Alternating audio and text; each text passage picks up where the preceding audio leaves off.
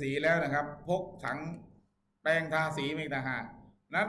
เราลองคลิก B ขึ้นมาสิครับกด B แล้วคลิกไปที่รูปบ้านสิครับ เห็นไหมนี่สีของน้องผู้หญิงคนนี้ล้วนๆนะครับเนี่ยนะครับเพราะฉะนั้นเวลาเราเอาไปประมาณราคาคือของเราเนี่ยที่เราเรียนรู้มันไม่เหมือนเมื่อก่อนนะครับ เมื่อก่อนเราใช้สเก็ตอัพเพื่อการนำเสนอให้เห็นเป็นสามมิติ แล้วเราก็ทำไมครับให้เห็นความสวยงามมาไปจากของบ้านเขาเห็นว่าเฮ้ยมันเป็นอย่างนี้อย่างนี้ แต่ตอนนี้ไม่ใช่เรากลับกันครับ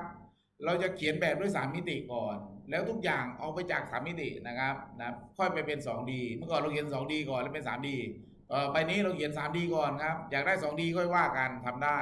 อยากทำเป็นวิดีโอก็ทำได้ครับทำได้หมดนั้นผมบอกท่านได้นะครับว่า ถ้าในทัศนะของผมนะ โปรแกรมที่น่าใช้ที่สุดแล้วตอนนี้สำหรับวงการก่อสร้างคือ อันนี้แหละครับ SketchUp แล้วบวกกับความสามารถของ Profile Builder ซึ่งมีราคาแค่ 2,000 กว่าบาท แล้วเร็วๆนี้บอกล่วงหน้าไว้ก่อนเผื่อใครจะซื้อ อีกประมาณสักวันนี้วันที่อะไรครับเนี่ย ประมาณพรุ่งนี้หรือมะรืนนะเขาจะลดราคาลงประมาณครึ่งหนึ่งก็น่าจะเหลือประมาณพันนิดๆนะรีบซื้อเสียนะครับ รีบซื้อเสียนะครับนะ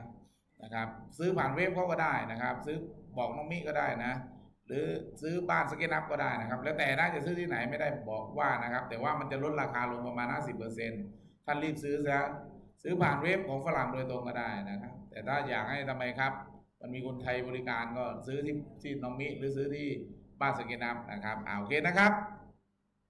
ทีนี้ไอ้ที่สีน้องผู้หญิง เราอยากลบทำไงครับ มาลบสีน้องก่อนสิครับ ไปที่ไหนครับ ไปที่ detail ครับ ไปที่ detail แล้วกดปุ่ม delete delete out สิครับ กดปุ่มสิครับ delete out นะครับ ผลเป็นไงครับ น้องก็กลายเป็นอะไรครับ กลายเป็นคนไม่มีสี แล้วสังเกตครับ ในโมเดลของเรามีสีอีกไหมครับ ไอเราเนี่ยต้องการอย่างนี้นะสำหรับการเขียนแบบแล้วได้ราคาด้วยเพราะไม่งั้นสีมั่วไปหมด เราจะตาลายไปหมดไม่รู้สีไหนสีไหน เพราะเราต้องการแค่สี material ของเราใช่ไหมครับคอนกรีตสีทาภายนอกสีทาภายในถ้ามาเต็มแบบเยอะๆเรามั่วแน่นอนนะ โอเคครับ เรารู้แล้วนะครับ วิธีที่จะทำไมครับเอาสีออกนะ แต่ถ้าท่านใช้เทมเพลตที่ชื่ออ่า construction document นะครับ มันจะไม่มีสีนะครับ มันจะไม่มีสีไม่มีคนเข้ามาด้วยนะ แต่มีข้อเสีย คือถ้ามีคนเนี่ยเรารู้ใช่ไหมครับ รู้คร่าวๆว่าสัดส่วนมันเท่าไหร่ แต่ถ้าไม่มีคนเนี่ยเหมือนเราเขียนในอากาศนะครับ เรากะไม่ถูกนะ แต่ถ้าอย่างนี้ท่านสามารถเนี่ยถ้าอย่างเงี้ยผมอยากถ้าท่านอยากเขียนเขียนเส้นหนึ่งเมตร โดยกาดด้วยสายตา ท่านก็พอจะเขียนได้ถูกต้องไหมครับ อาจจะไม่ได้หนึ่งเมตรหนึ่งเมตรเป๊ะแต่ก็ใกล้เคียงใช่ไหมเช่น ผมถ้าผมจะเขียนหนึ่งเมตร ผมก็กล่าวจากคนได้ไหมครับก็น่าจะประมาณนี้นะครับนะแล้วก็ใช้ดิเมนชันลากดูสิครับได้เท่าไหร่ นะหนึ่งเมตรสิบเจ็ดเซนเห็นไหมครับ อ่านะ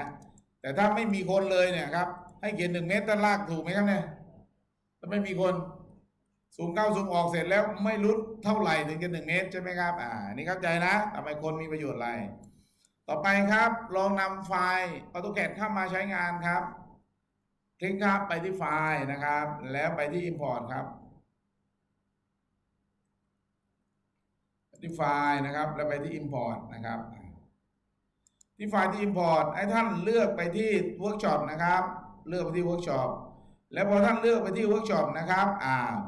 ตอนนี้มันจะไม่เห็นไฟล์ AutoCAD นะครับ อยู่ใน Workshop แล้วก็ยังไม่เห็นไฟล์ AutoCAD ที่ด้านมุมซ้ายล่างครับ ที่มุมซ้ายล่างนะครับ ตอนนี้มันขึ้นว่าเหมือนผมไหมครับ เอา Support Image Type ไหมครับ ตอนนี้มันโชว์เฉพาะไฟล์ Image ไฟล์ภาพ คลิกลงไปครับ แล้วเลือกไฟล์ AutoCAD คลิกลงไปครับ เลือกไฟล์ CAD ครับ ครับ คลิกลงไปเลือกไฟล์ CAD ครับ หลังจากนั้นครับ มันจะเจอไฟล์ CAD ชื่อประปาครับ เจอไฟล์ CAD ชื่อประปาเดี๋ยวเป็นคลิกเข้าไปครับ ไฟล์ CAD ก็จะถูกโหลดเข้ามานะครับ ก็จะถูกโหลดเข้ามา แล้วมันจะขึ้นว่ามีกี่เส้นกี่อะไรก็ว่าไปนะครับ สิ่งที่มันเข้ามามันจะไม่มีตัวหนังสือนะครับ มันจะมีเฉพาะอะไรครับเส้นนะครับ มีดิเมนชันมีตัวหนังสือไม่มีครับ กด close ครับ อ่าแล้วมันก็เข้ามาโดยที่เราไม่ต้องกดวางนะครับ มันเข้ามาเองนะ ใช่ไหมครับเข้ามาเองใช่ไหมครับอ้าวทีนี้ครับ เดี๋ยวสมมุติว่าผมเนี่ยครับจะ copy อันนี้นะครับไปไฟล์อื่น ขอมุมมอง top view หน่อยครับ แล้วท่านจะเห็นว่าไฟล์นี้มันมีหลายสเกลใช่ไหมครับ คือมันมันเป็นไฟล์ที่รวมแบบหลายแผ่นนะครับ มันมีหลายสเกลเข้ามาไหมครับ หลายสเกลเข้ามาเพราะฉะนั้นเราจะเซตสเกลให้ได้เท่ากับสเกลภาพใดภาพหนึ่งเนี่ย ภาพอื่นก็จะไม่ได้สเกลเพราะนั้นเดี๋ยวเราจะ copy ภาพนี้ครับออกไปนะครับ copy เฉพาะภาพนี้ออกไปนะครับ แล้วพอเรานำเข้ามาสังเกตครับ มี layer ตามมาด้วยไหมครับ มีเห็นไหมมี layer ตามมาสองสาม layer นะครับถูกไหมอ่านะครับดังนั้นท่านช่วยก๊อปปี้ภาพนี้หน่อยครับ ที่มุมนี้ครับหาเจอแต่ก่อนก๊อปปี้ต้องระเบิดก่อนนะ เพราะว่ามันนำเข้ามามันทำไมครับ มันกลายเป็นภาพเดียวเป็นอะไรครับ เป็นกรุ๊ปนะ นะครับ เลือกก่อนครับ ลากจากขวามาซ้าย แล้วคลิกขวานะครับ แล้วกดอะไรครับ export เลือกก่อนครับ เลือกเส้นนะครับ คลิกขวานะครับ เลือกก่อนแล้วคลิกขวาครับ แล้วกดอะไรครับ กด export ครับ เพื่อระเบิดมันนะพอเราระเบิดเสร็จครับปุ๊บมันจะมันจะนิ่งเป็นแป๊บหนึ่งนะ เพราะว่าเหมือนมันทำไมครับ เส้นเส้นมันเยอะครับนะพอเราระเบิดปุ๊บมันกลายเป็นเส้นจำนวนมากนะ นะครับของผมขึ้นเลยครับ ไม่มีอาการตอบสนอง ตอนนี้ตอบสนองแล้วของท่านยังค้างอยู่ไหมบางคนเครื่องเก่าๆก็อาจจะทำไมครับ ตอนนี้จอฟ้าไปแล้วมีไหมอ้าวทีนี้ครับ ซูมมาที่หน้าต่างนี้หน่อยครับ ที่เป็นฐานลากเนี่ยครับ แล้วก็มีคานเนี่ยครับ แล้วช่วยลากครอบหน่อยครับ ลากครอบลากจากซ้ายมาขวานะครับ ลากครอบถ้าจากขวามาซ้ายเราก็มีโอกาสโดนเส้นข้างๆ ถูกต้องไหมครับ แต่ถ้าจากซ้ายมาขวาอันไหนที่เราครอบมันเลือกส่วนที่ไม่ครอบโดนแค่บางส่วนมันไม่เลือกนะครับอ่าลากจากซ้ายมาขวาหน่อยครับ เรียบร้อย แล้วท่านกด Ctrl C สิครับ กด Ctrl C การกด Ctrl C คือการ Copy ไว้หน่วยในหน่วยความจำของคอมพิวเตอร์ครับอ่ากด Ctrl C หลังจากนั้นครับไปที่ไฟล์ กด New ครับ แล้วเราไม่ต้อง save นะ กด New แล้วไม่ต้อง save ครับ เรียบร้อยขึ้นหน้าใหม่ทีนี้ครับ กด Ctrl V ครับ Ctrl V ลงไปเรียบร้อยครับอ่าขอมุมมอง top view ก่อนก็ได้นะครับ Shift T แล้วกด Ctrl V แล้วคลิกวางลงไปครับนะคลิกวางลงไปเรียบร้อยครับ เราก็ได้เลยครับอ่าฐานลากเข้ามาแล้วนะครับเราก็ได้ฐานลากเข้ามาแล้วนะวางได้ไหมครับ ตอนนี้วางได้ไหมอ่าทวนอีกทีนะครับ หรือไม่ต้องทวนเพราะว่าไฟล์นู้นปิดไปแล้วนะอ่าทวนอีกทีนะครับ ไปที่ไฟล์ผม ผมขึ้นหน้าใหม่นะครับ อ่า ของท่านถ้าได้แล้วไม่ต้องทวนนะนะครับ แล้วทีนี้ผม Import ครับไฟล์ AutoCAD ไฟล์แล้วก็ Import นะครับ ผมกด Import นะครับ เพื่อเลือกไฟล์ AutoCAD ก่อนเลือกจะมองไม่เห็นนะครับ ที่มุมล่างขวาของหน้าต่างท่านต้องเลือกเป็น AutoCAD ก่อนนะครับ แล้วจะเจอไฟล์ที่ชื่อปรับปาแต่พอคลิกเข้ามาครับนะแต่มันก็จะอ่านค่าแป๊บนะครับนะปุ๊บมันก็ให้เราวางทีนี้เราก็กดวางครับ อ๋อไม่ต้องกดวางนะครับ ตอนนำเข้าทีแรกอ่าหลังจากนั้นครับ เลือกภาพ โดยการลากจากขวามาซ้ายนะครับ คลิกขวาแล้วกดอะไรครับ คลิกขวาแล้วกด export นะครับเครื่องก็จะนิ่งไปแป๊บหนึ่งนะเนื่องจากว่าเส้นที่เข้ามามันมีจำนวนเยอะมากนะครับนะนะครับปุ๊บมันก็จะทำงานสักแป๊บหนึ่งครับผมขึ้นว่าไม่มีการตอบสนองนะจริงๆก็ไม่ถึงกับแฮงไปนะครับ แค่ว่ามันกำลังคำนวณอ้าวเรียบร้อยครับ หลังจากนั้นลากรอบครับ ฐานลากนะกับคานของตัวของฐานลากที่รับถังน้ำนะครับลากครอบ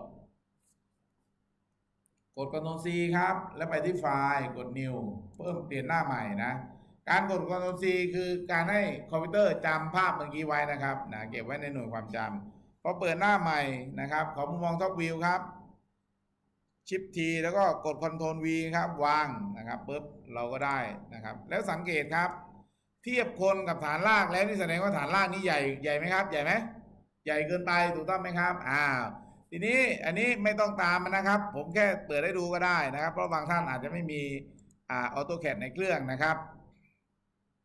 ผมก็ไปเปิดดูในแบบนะครับว่าตัวของอะไรครับ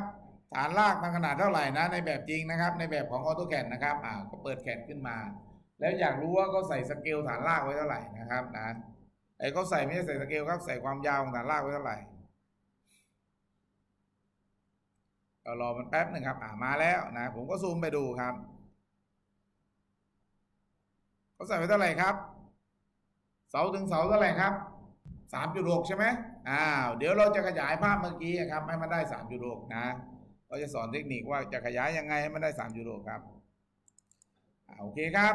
อตอนนี้เราได้แล้วสามจุดหกทีนี้ท่านช่วยผมหน่อยครับ ช่วยลากเส้นจากกลางเสาครับ ขึ้นตามแนวแกน y ครับช่วยลากเส้นจากกลางเสาขึ้นตามแนวแกน y นะนะครับลากเส้นจากกลางเสาขึ้นตามแนวแกน y นะครับปึ๊บนะไม่ต้องไปสนใจนะครับ มันจะตัดอะไรเดี๋ยวเราก็ลบออกได้ใช่ไหมครับ มันจะเกิดการตัดการอะไรช่างมันนะครับนะเกิดเป็นผิวช่างมัน เดี๋ยวเราลบได้ พอเราลบ ถ้าเราลบมันเป็นไงครับ มันก็กลับมาเหมือนเดิมไหมครับเนี่ยก็กลับมาเหมือนเดิมทุกอย่างเห็นไหมนะครับ แต่พอเราตัดมันอาจจะทำไมครับ มันอาจจะเกิดเป็นผิวอาจจะเส้นอาจจะถูกแบ่ง แต่พอเราลบมันจะกลับมาเหมือนเดิมเพราะฉะนั้นท่านช่วยลากเส้นครับลากเส้นนะจากกลางเสาครับขึ้นด้านบน จากกลางเสาครับขึ้นด้านบนนะครับปึ๊บนะนะครับ หลังจากนั้นครับ ตอนนี้ได้ยังลากเส้นได้ยัง ได้แล้วครับ ใช้ตลับเมตรครับแงนดูผมนิดหนึ่งก่อน ใช้ตลับเมตรครับ จิ้มจากนนี้ครับกลางเสาอะมุมนี้ก็ได้ครับ ข้างบนก็ได้ ตรงนี้ก็ได้ ข้างบนก็ได้ จิ้มจากตรงนี้ไปด้านโน้นครับ กลางเสาด้านโน้นครับปุ๊บมันจะได้ระยะทันทีเท่าไหร่ครับเจ็ดสิบสองถูกต้องไหมครับเจ็ดสิบสองเมตร ถ้าทำถูกต้องต้องขึ้นว่าเจ็ดสิบสองทาอยู่นะครับ อ่า ผมทวนอีกทีนะครับ อ่า นะ ผมใช้ตลับเมตรครับ กดที คลิกลงไปครับ แล้วไปวางด้าโน้นครับ เรียบร้อย ขึ้นเจ็ดสิบสองไหมครับ ขึ้นทุกคนไหมของใครไม่ขึ้นบ้างพอขึ้นปุ๊บเมื่อกี้ระยะที่ในแบบจริงเท่าไหร่ครับสามจุดหกพิมพ์ไปเลยครับสามจุดหกพอพิมพ์สามจุดหกข้อ enter ครับปุ๊บขอโทษครับ อย่าเพิ่งอย่าเพิ่งคอนโทรลเซกลับมาก่อน เพื่อให้มันเห็นกับตาครับ ใส่ dimension ด้วยใส่ dimension ครับ dimension เมื่อกี้มันเท่าไหร่ครับเจ็ดสิบเท่าไหร่เจ็ดสิบสองอ้าว แล้วตลับเมตรครับมาจิ้ม ใส่ dimension ด้วยนะครับ เราจะได้เห็นว่าเดี๋ยวมันทำไมครับ ย่อลงเหลือสาม ศูนย์ อ้าวแล้วใช้ตลับเมตรครับ มาจิ้มจุดซ้ายแล้วก็จิ้มที่จุดขวาก็จะได้ 72 ใช่ไหมครับพอได้ 72 ครับ แก้สิครับเป็น 3.6 เคาะ enter เรียบร้อยมันจะถามว่า resize โมเดลไหม มันจะให้เราทำไมครับ ย่อขยายโมเดลนั่นเอง เราก็กดใช่เราจะ resize โมเดล เรียบร้อยโมเดลเราหายไปครับ อยู่ข้างล่างนู่น กดมุมมองอะไรครับ กด zoom extents ครับ ให้มันเต็มจอขึ้นมา แล้วสังเกตตัวเลขมันเหลือเท่าไหร่ครับ ตัวเลขสามจุดหกนี่มันไม่ได้แก้ตัวเลขนะครับ มันแก้อะไรครับ แก้สเกลนึกออกไหมครับ มันแก้ขนาดนะครับนะ เพราะฉะนั้นลองใช้ดิเมนชันลากฐานลากสิครับ ฐานลากยาวเท่าไหร่ครับเนี่ย ดิเมนชันลากฐานลากเท่าไหร่ครับหนึ่งจุดห้าใช่ไหมครับหนึ่งจุดห้าคูณหนึ่งจุดห้านะนะครับนะอ่าอ่าแล้วก็ถ้าเราพอใจแล้วเราก็ลบส่วนที่เราทำไมครับ ไม่ต้องการซะผิวก็ลบออกซะ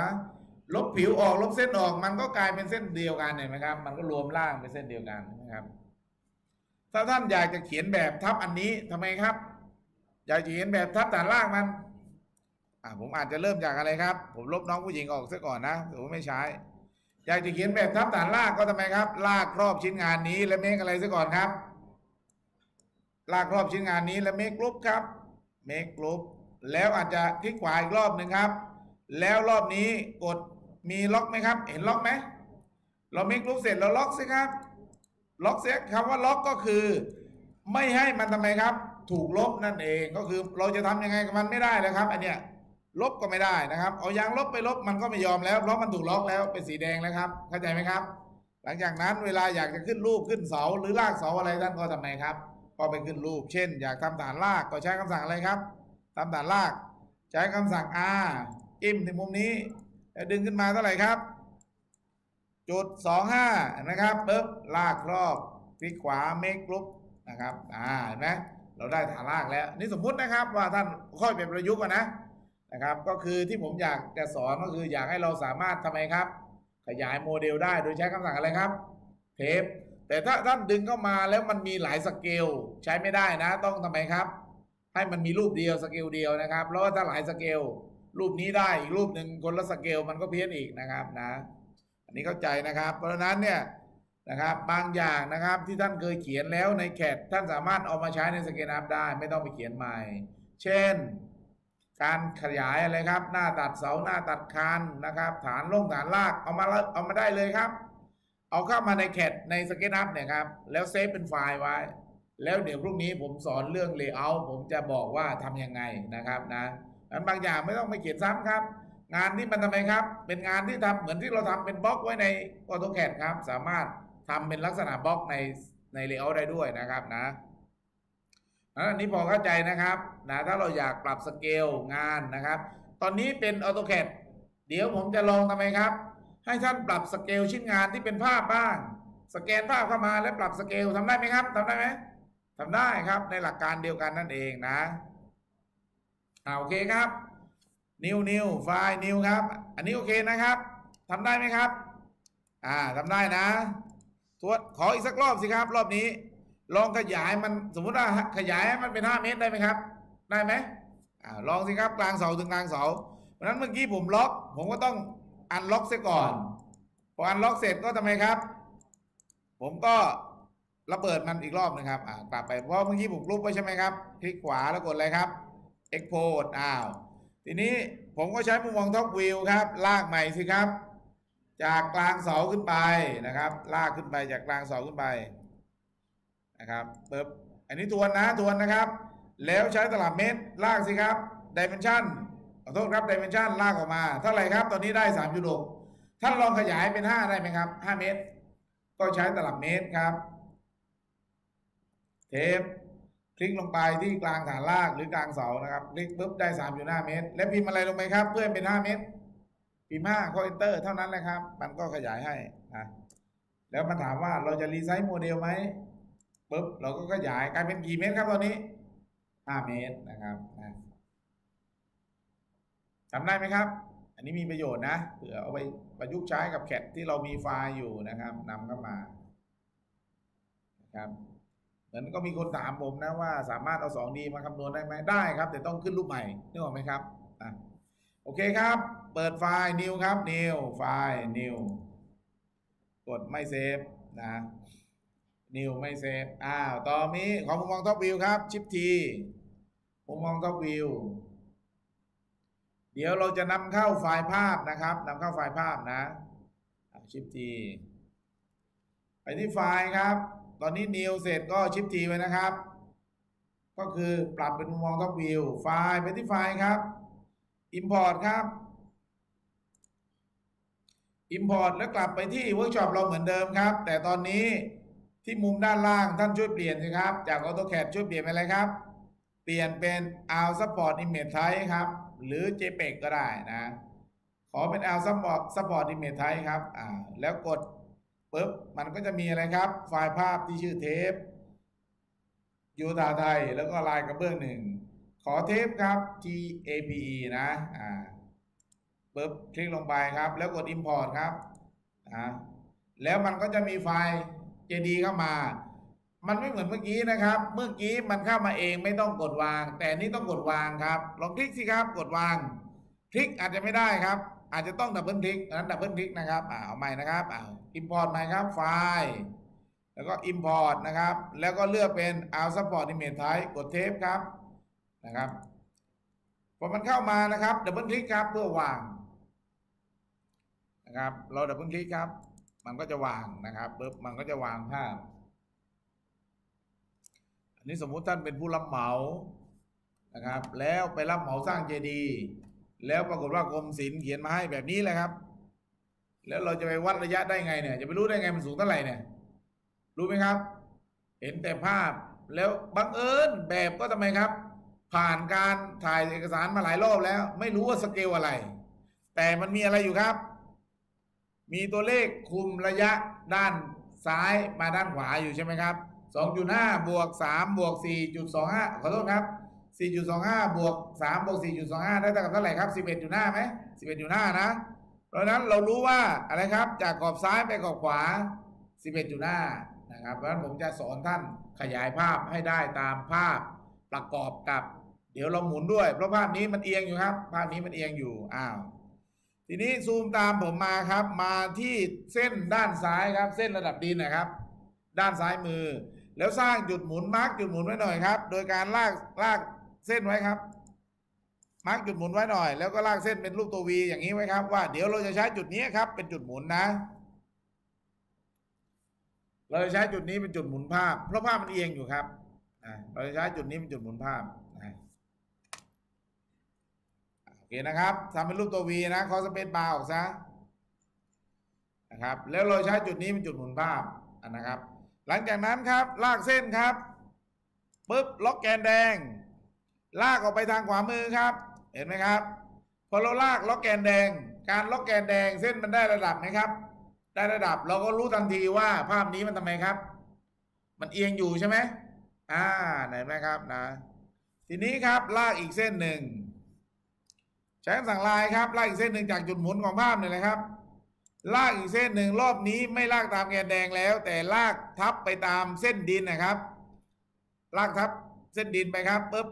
เรียบร้อย เราก็ได้เส้นสองเส้นนะครับ เส้นแรกได้ระดับนะครับ เส้นแรกได้ระดับ เส้นที่สองไม่ได้ระดับ เพราะว่าเราลากไปตามดิน เดี๋ยวเราจะหมุนภาพครับ ขยับขึ้นนิดหนึ่งเพื่อให้มันได้ระดับ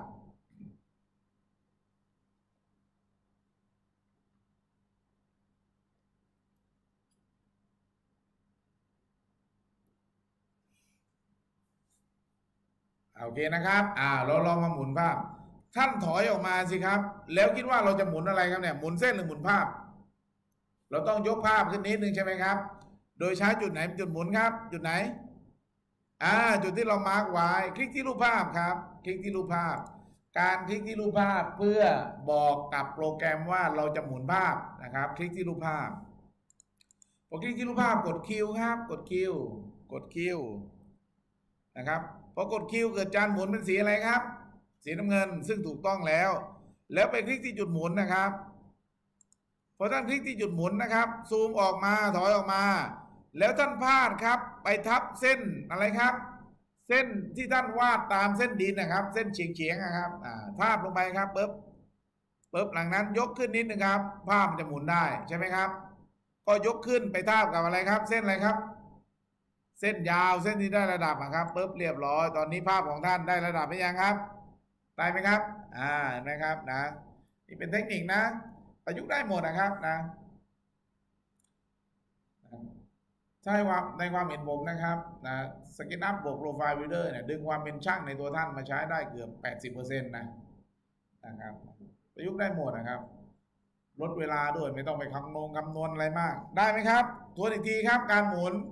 คลิกที่ภาพเลือกภาพก่อน แล้วกด Q ครับ กด Q หรือ rotate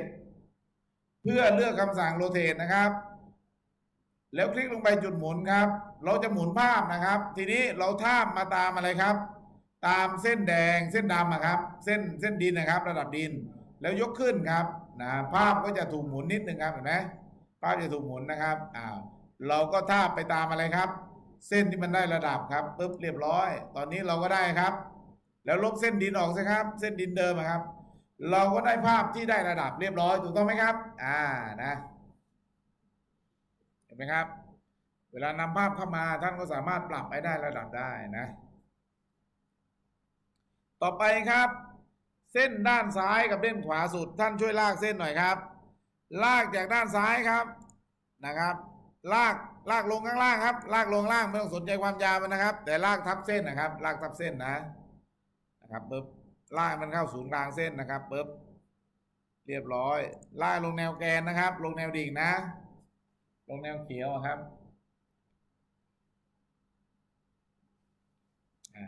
ลากเส้นซ้ายด้วยเส้นขวาด้วย หลังจากนั้นก็ทำไมครับทำลักษณะคล้ายเมื่อกี้ครับ ก็ลากเส้นอะไรครับ ลากเส้นตัดนะครับปุ๊บลากเส้นตามแกนแดงตัดมันครับ อ่า ลบผิวข้างในออกซะนะครับ พอท่านลากเส้นตัดท่านก็จะได้ระยะครับ ทีนี้ใช้ดิเมนชันครับ เช็คระยะมัน ตอนนี้ระยะที่ผมได้คือ 0.98 เมตรอาลองทำครับได้ 0.98 เมตร แต่ระยะที่เราต้องการคือเท่าไหร่ครับ 11.5 เมตร ก็ใช้คำสั่งเทปนะครับ ขยายมันเหมือนเมื่อกี้นะครับนะในประยุกต์ก่อนนะนะ เพราะนั้นลากเส้นนะครับ พอหมุนภาพเสร็จได้ภาพเสร็จนะครับ พอหมุนภาพได้เราก็ทำไมครับ ลากเส้นขึ้นมาซ้ายขวานะครับ แล้วก็ลากเส้นตัดมันหน่อยครับนะ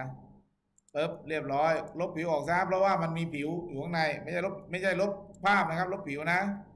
อ่าแล้วก็ใช้คำสั่ง dimension ครับปึ๊บลากจากมุมซ้ายเส้นซ้ายไปเส้นขวาครับ เราก็ได้ความยาวว่าเท่ากับ 0.98 เมตร ได้ไหมครับ ดังนั้นใช้ตลับเมตรครับ ใช้ตลับเมตร คลิกลงไป เส้นซ้ายแล้วก็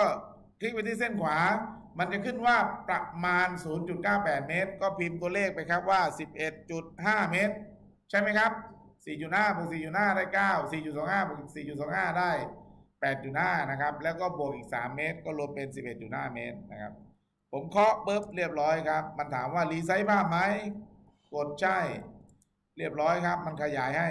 แต่พอตอนมันขยายมันหาไม่เจอนะครับ ให้กดซูม X10 นนะ ไม่รู้อยู่ไหนเพราะมันขยายนะ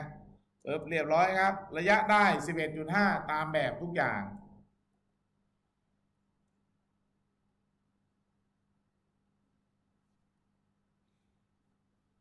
ได้ไหมครับเพราะตอนนี้ถ้าท่านอยากวัดว่าเจดีย์นี้สูงเท่าไหร่ หรืออะไรครับ ระยะตามเส้นต่างๆ เท่าไหร่ทำได้ไหมครับทำได้สบายนะ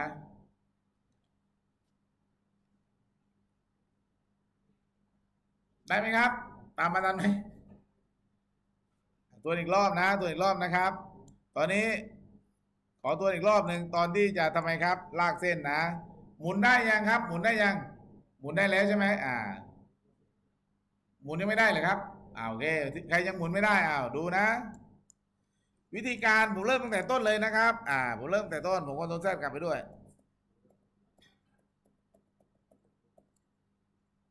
ครับผมเริ่มแต่ต้นให้อีกรอบนะครับ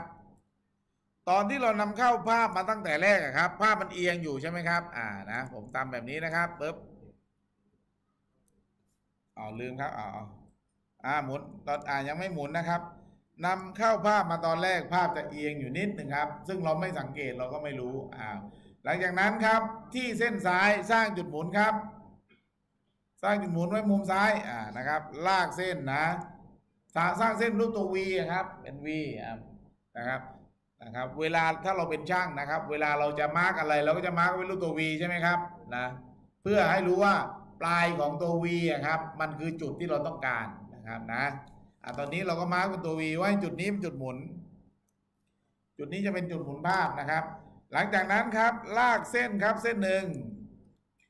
ล็อกแกนแดงนะครับปุ๊บนะครับ พอเราล็อกแกนแดงปุ๊บแกนแดงมันได้ระดับ เราเห็นทันทีว่าภาพมันได้ระดับไหมครับ ไม่ได้ ลากอีกเส้นหนึ่งครับ เส้นที่สองลากมาตามระดับดินครับของภาพนะครับปุ๊บเรียบร้อย แล้วถอยออกมานิดนึงครับ คลิกเพื่อเลือกภาพ หลังจากนั้นกดอะไรครับโรเตทนะครับ แล้วคลิกไปที่จุดหมุนครับพอคลิกไปที่จุดหมุนครับ ทามาตามระดับดินนะครับ แล้วยกระดับดินขึ้นนะครับทามาตามระดับดินแล้วยกระดับดินขึ้นนะครับอ่าผมยกระดับดินขึ้นดูครับ ยกขึ้นให้ทาบกับเส้นที่มันได้ระดับนะครับปึ๊บเรียบร้อย เราก็ได้เลยครับ ภาพที่ได้ระดับเรียบร้อยแล้วครับอ่านะครับนะครับ ลบเส้นออกซะ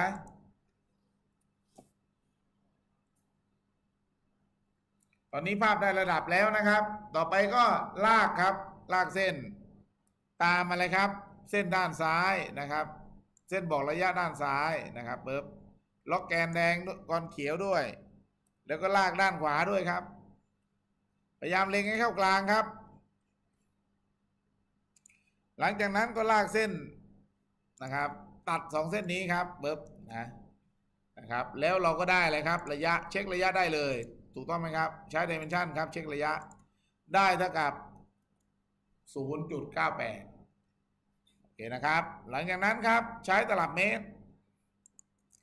คลิกลงไปที่ด้านซ้ายครับ แล้วก็คลิกไปที่จุดตัดด้านขวา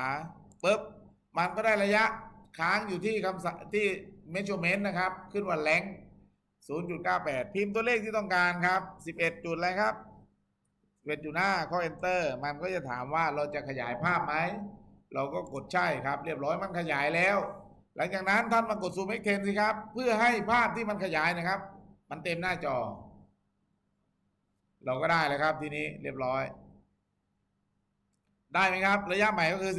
11.5 ทีนี้อยากรู้ความสูงทำได้ไหมครับทำได้ไหมก็ลากเส้นนะครับเท่านั้นเองนะครับ อยากรู้ความสูงก็ลากเส้น ลากเส้นจากปลายยอดของเจดีย์ลงมานะครับ มาล็อกแกนเขียวด้วย ล็อกแกนเขียวแล้วลงมาหาฐานดินนะครับ ลงมาที่ดินนะครับปุ๊บเรียบร้อย แล้วเราก็ใช้เดเมนชันครับ ลากเส้นนี้ออกมาได้เลย เราก็รู้ทันทีว่าเจดีย์นี้สูงเท่าไหร่ครับ 12.25 เมตรนะครับนะประยุกต์นะครับ ให้ไอเดียในการประยุกต์เท่านั้นเองจะได้ทำงานได้หลากหลายนะครับนะนะครับทำงานได้หลากหลาย โปรแกรมเดียวช่วยงานท่านได้เยอะมากนะนะครับ มีเวลาผมแนะให้นะ มีเวลานะครับ เปิดดาวเทียม Google Map นะครับ แล้วนำเข้ามาแล้วก็ลากตามได้เลยนะ ถนนอยู่ตรงไหนบ้านชาวบ้านอยู่ตรงไหน นะครับ ดีไม่ดีต่อไปใคร อาจจะหัวดีทำแผนที่ภาษีในสก็ตอัพก็ได้ ใช่ไหมครับนะโอเคนะครับ แล้วอยากได้ภาพถ่ายดาวเทียมใหม่ๆทำไงครับ ไม่ต้องไปซื้อของใคร ตั้งงบซื้อโดรนครับนะผมซื้อมาแล้วลองแล้วโอ้โคตรชัดเลย ตั้งงบซื้อโดรนนะครับนะตั้งงบซื้อโดรนเดี๋ยวเปิดให้ดูนิดหนึ่งพูดถึงโดรนนะ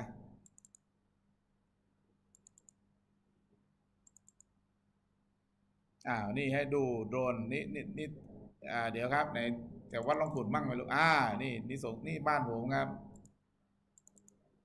อ้าวดูครับ ท่านดูครับเนี่ย ถ้าหน่วยงานของเรามีโดรนที่บินได้อย่างนี้ครับ โอ้โหทำแผนที่ได้สบายไหมครับก็สบายเลยนะครับนะ ไม่ต้องกลัวอีกแล้วต่อไปนี้ใครลุกปงลุกป่ารู้หมดนะครับ ตรวจอะไรครับ เมื่อก่อนเวลาขับรถไปตรวจเขา ว่าขออนุญาตก่อสร้างอาคารไหมก็เสียวๆเนาะตอนหลังไม่เสียวแล้วส่งโดนไปเลยถ่ายเลยนะถ่ายทั้งตำบลนะครับ ถ่ายไว้ทุกเดือนเลยต่อไป รู้เลยใครสร้างเดือนไหนใช่ไหมนะครับ อันนี้ยกตัวอย่างนะ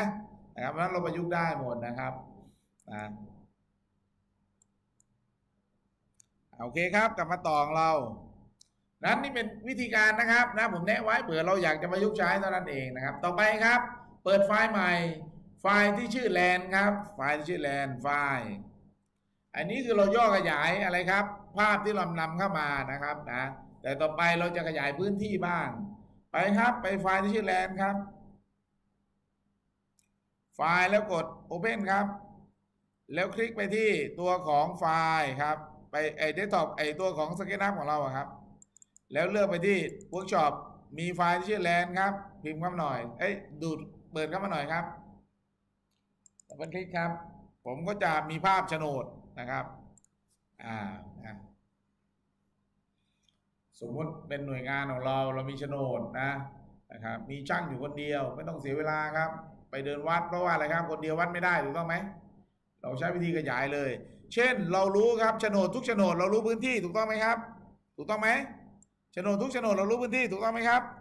แต่เราไม่รู้ความกว้างความยาวของมัน ยกเว้นว่า มันอาจจะมีสเกลแล้วทำไมครับ สเกลมันไม่เพี้ยน ก็อาจจะใช้สเกลวัดได้ แต่อีกวิธีหนึ่งก็คือ ผมจะนำเสนอการขยายภาพให้มันเท่ากับพื้นที่จริงครับ ขยายที่ดินในโฉนดเท่ากับพื้นที่จริงนะ แล้วเราก็สามารถที่จะทำอะไรได้ครับทีนี้ก็วัดความยาวได้นะครับอ้าวดูครับ มาลองดูกัน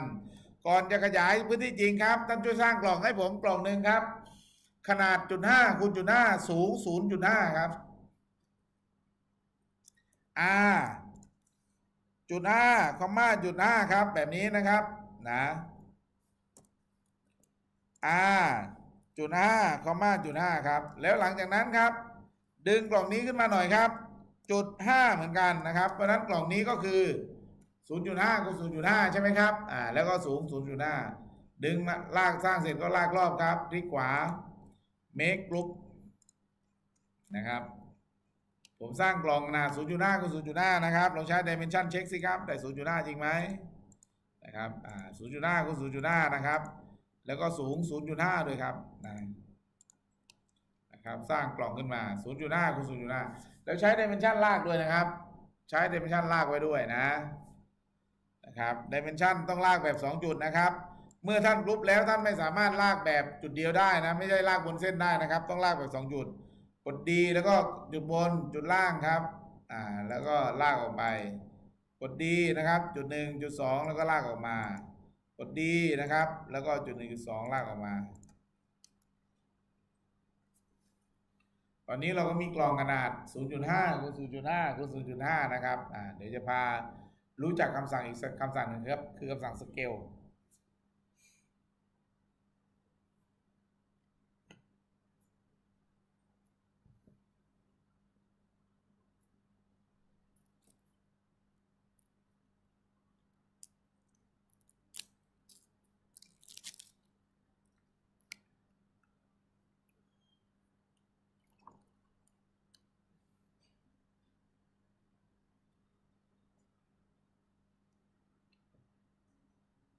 อ่าโอเคนะครับคำสั่งที่เราจะเรียนรู้ต่อไปคือคำสั่งนี้ครับ ชื่อว่าคำสั่งสเกลครับ ย่อด้วยตัว S Superman ครับครับสเกลนะครับอ่าสเกลคำสั่งนี้นะครับสเกลนะครับตัวนี้นะครับ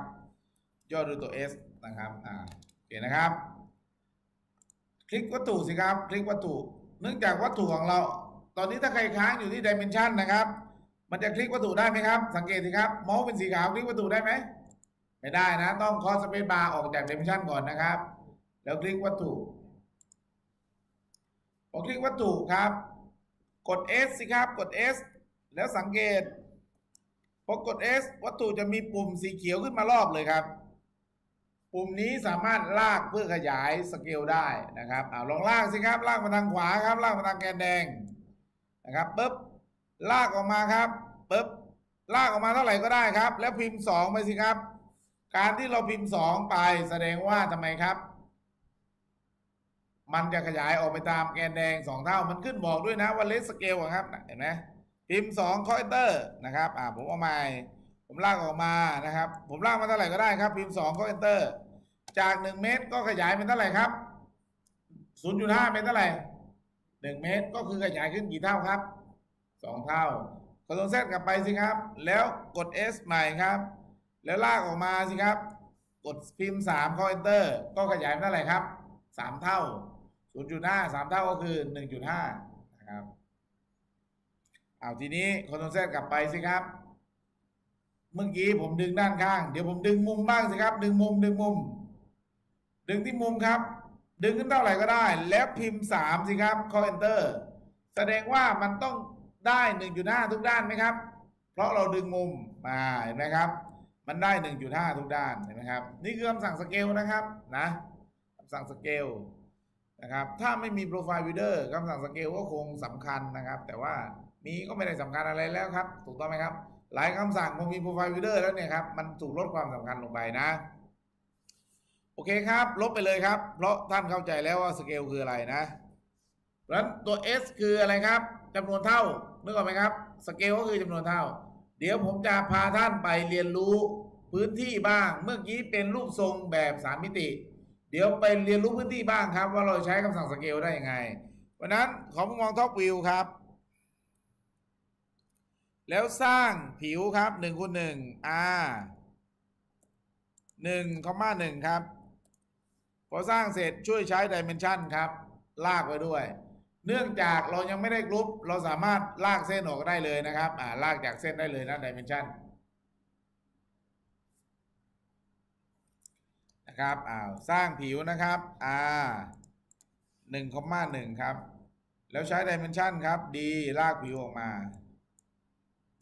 เรียบร้อยอใช้ D ลากผิวออกมาครับ พอใช้ D ลากผิวออกมาครับ เอ้ยลากเส้นออกมาเป็นระยะครับ หลังจากนั้นครับ double click สิครับ double click double click อ่า double click ไม่ได้อีกแล้วเพราะอะไรครับ สังเกตเมาส์เป็นสีขาวเพราะอยู่ในคำสั่งเลยครับคำสั่ง dimension เคาะ spacebar ออกซะก่อนแล้ว double click ครับ อ่าพอ double click ครับ เท่ากับเราเลือกผิวและเส้น แล้วกด S สิครับ กด S มีปุ่มสีเขียวเกิดขึ้นไหมครับ อ่า มีปุ่มสีเขียวเกิดขึ้น ทีนี้ครับ ท่านลองลากไปทางขวาสิครับ และพิมพ์สองมันก็ขยายเป็นสองเท่า เท่ากับจากหนึ่งเมตรก็เป็นสองเมตรนะอ่า Control Z กลับมา ลองดึงมุมบ้าง ดึงมุมสิครับปุ๊บผมพิมพ์ไปสองจากหนึ่งเมตรก็เท่ากับสองคูณสองถูกต้องไหมครับอ่า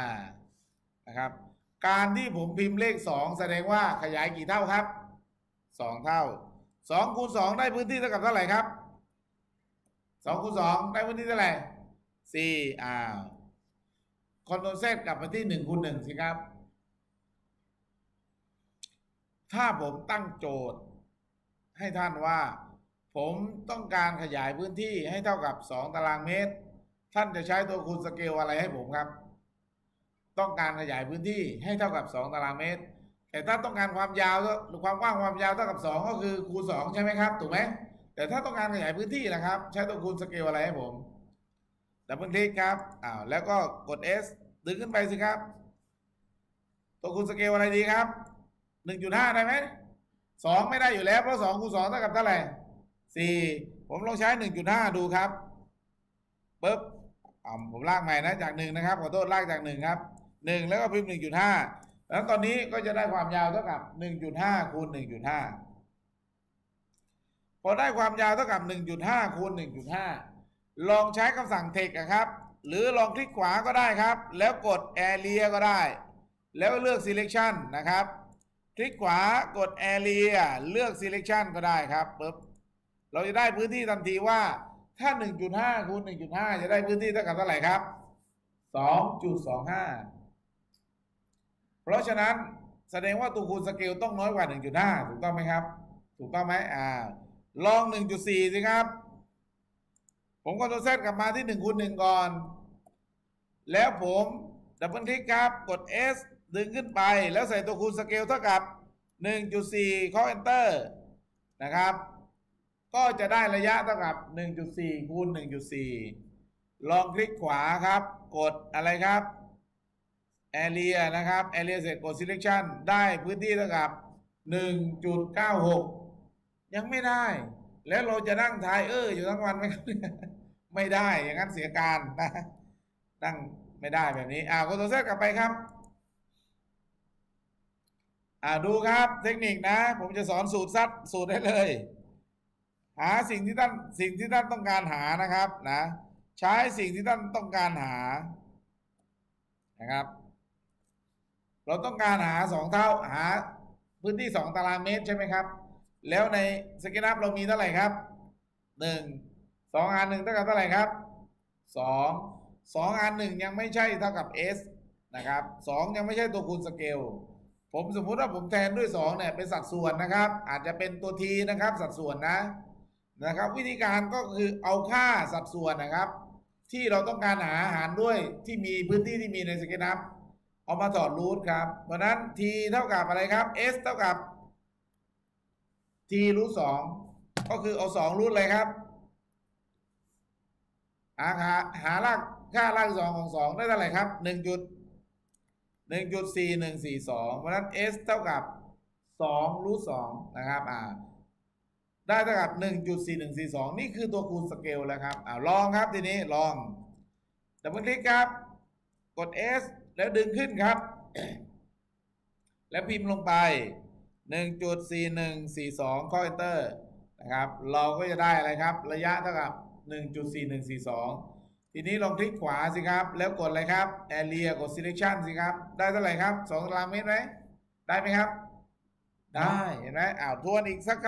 ำขออีกสักตัวเลขครับ สักตัวอย่างหนึ่ง Control Z กลับไปที่หนึ่งใหม่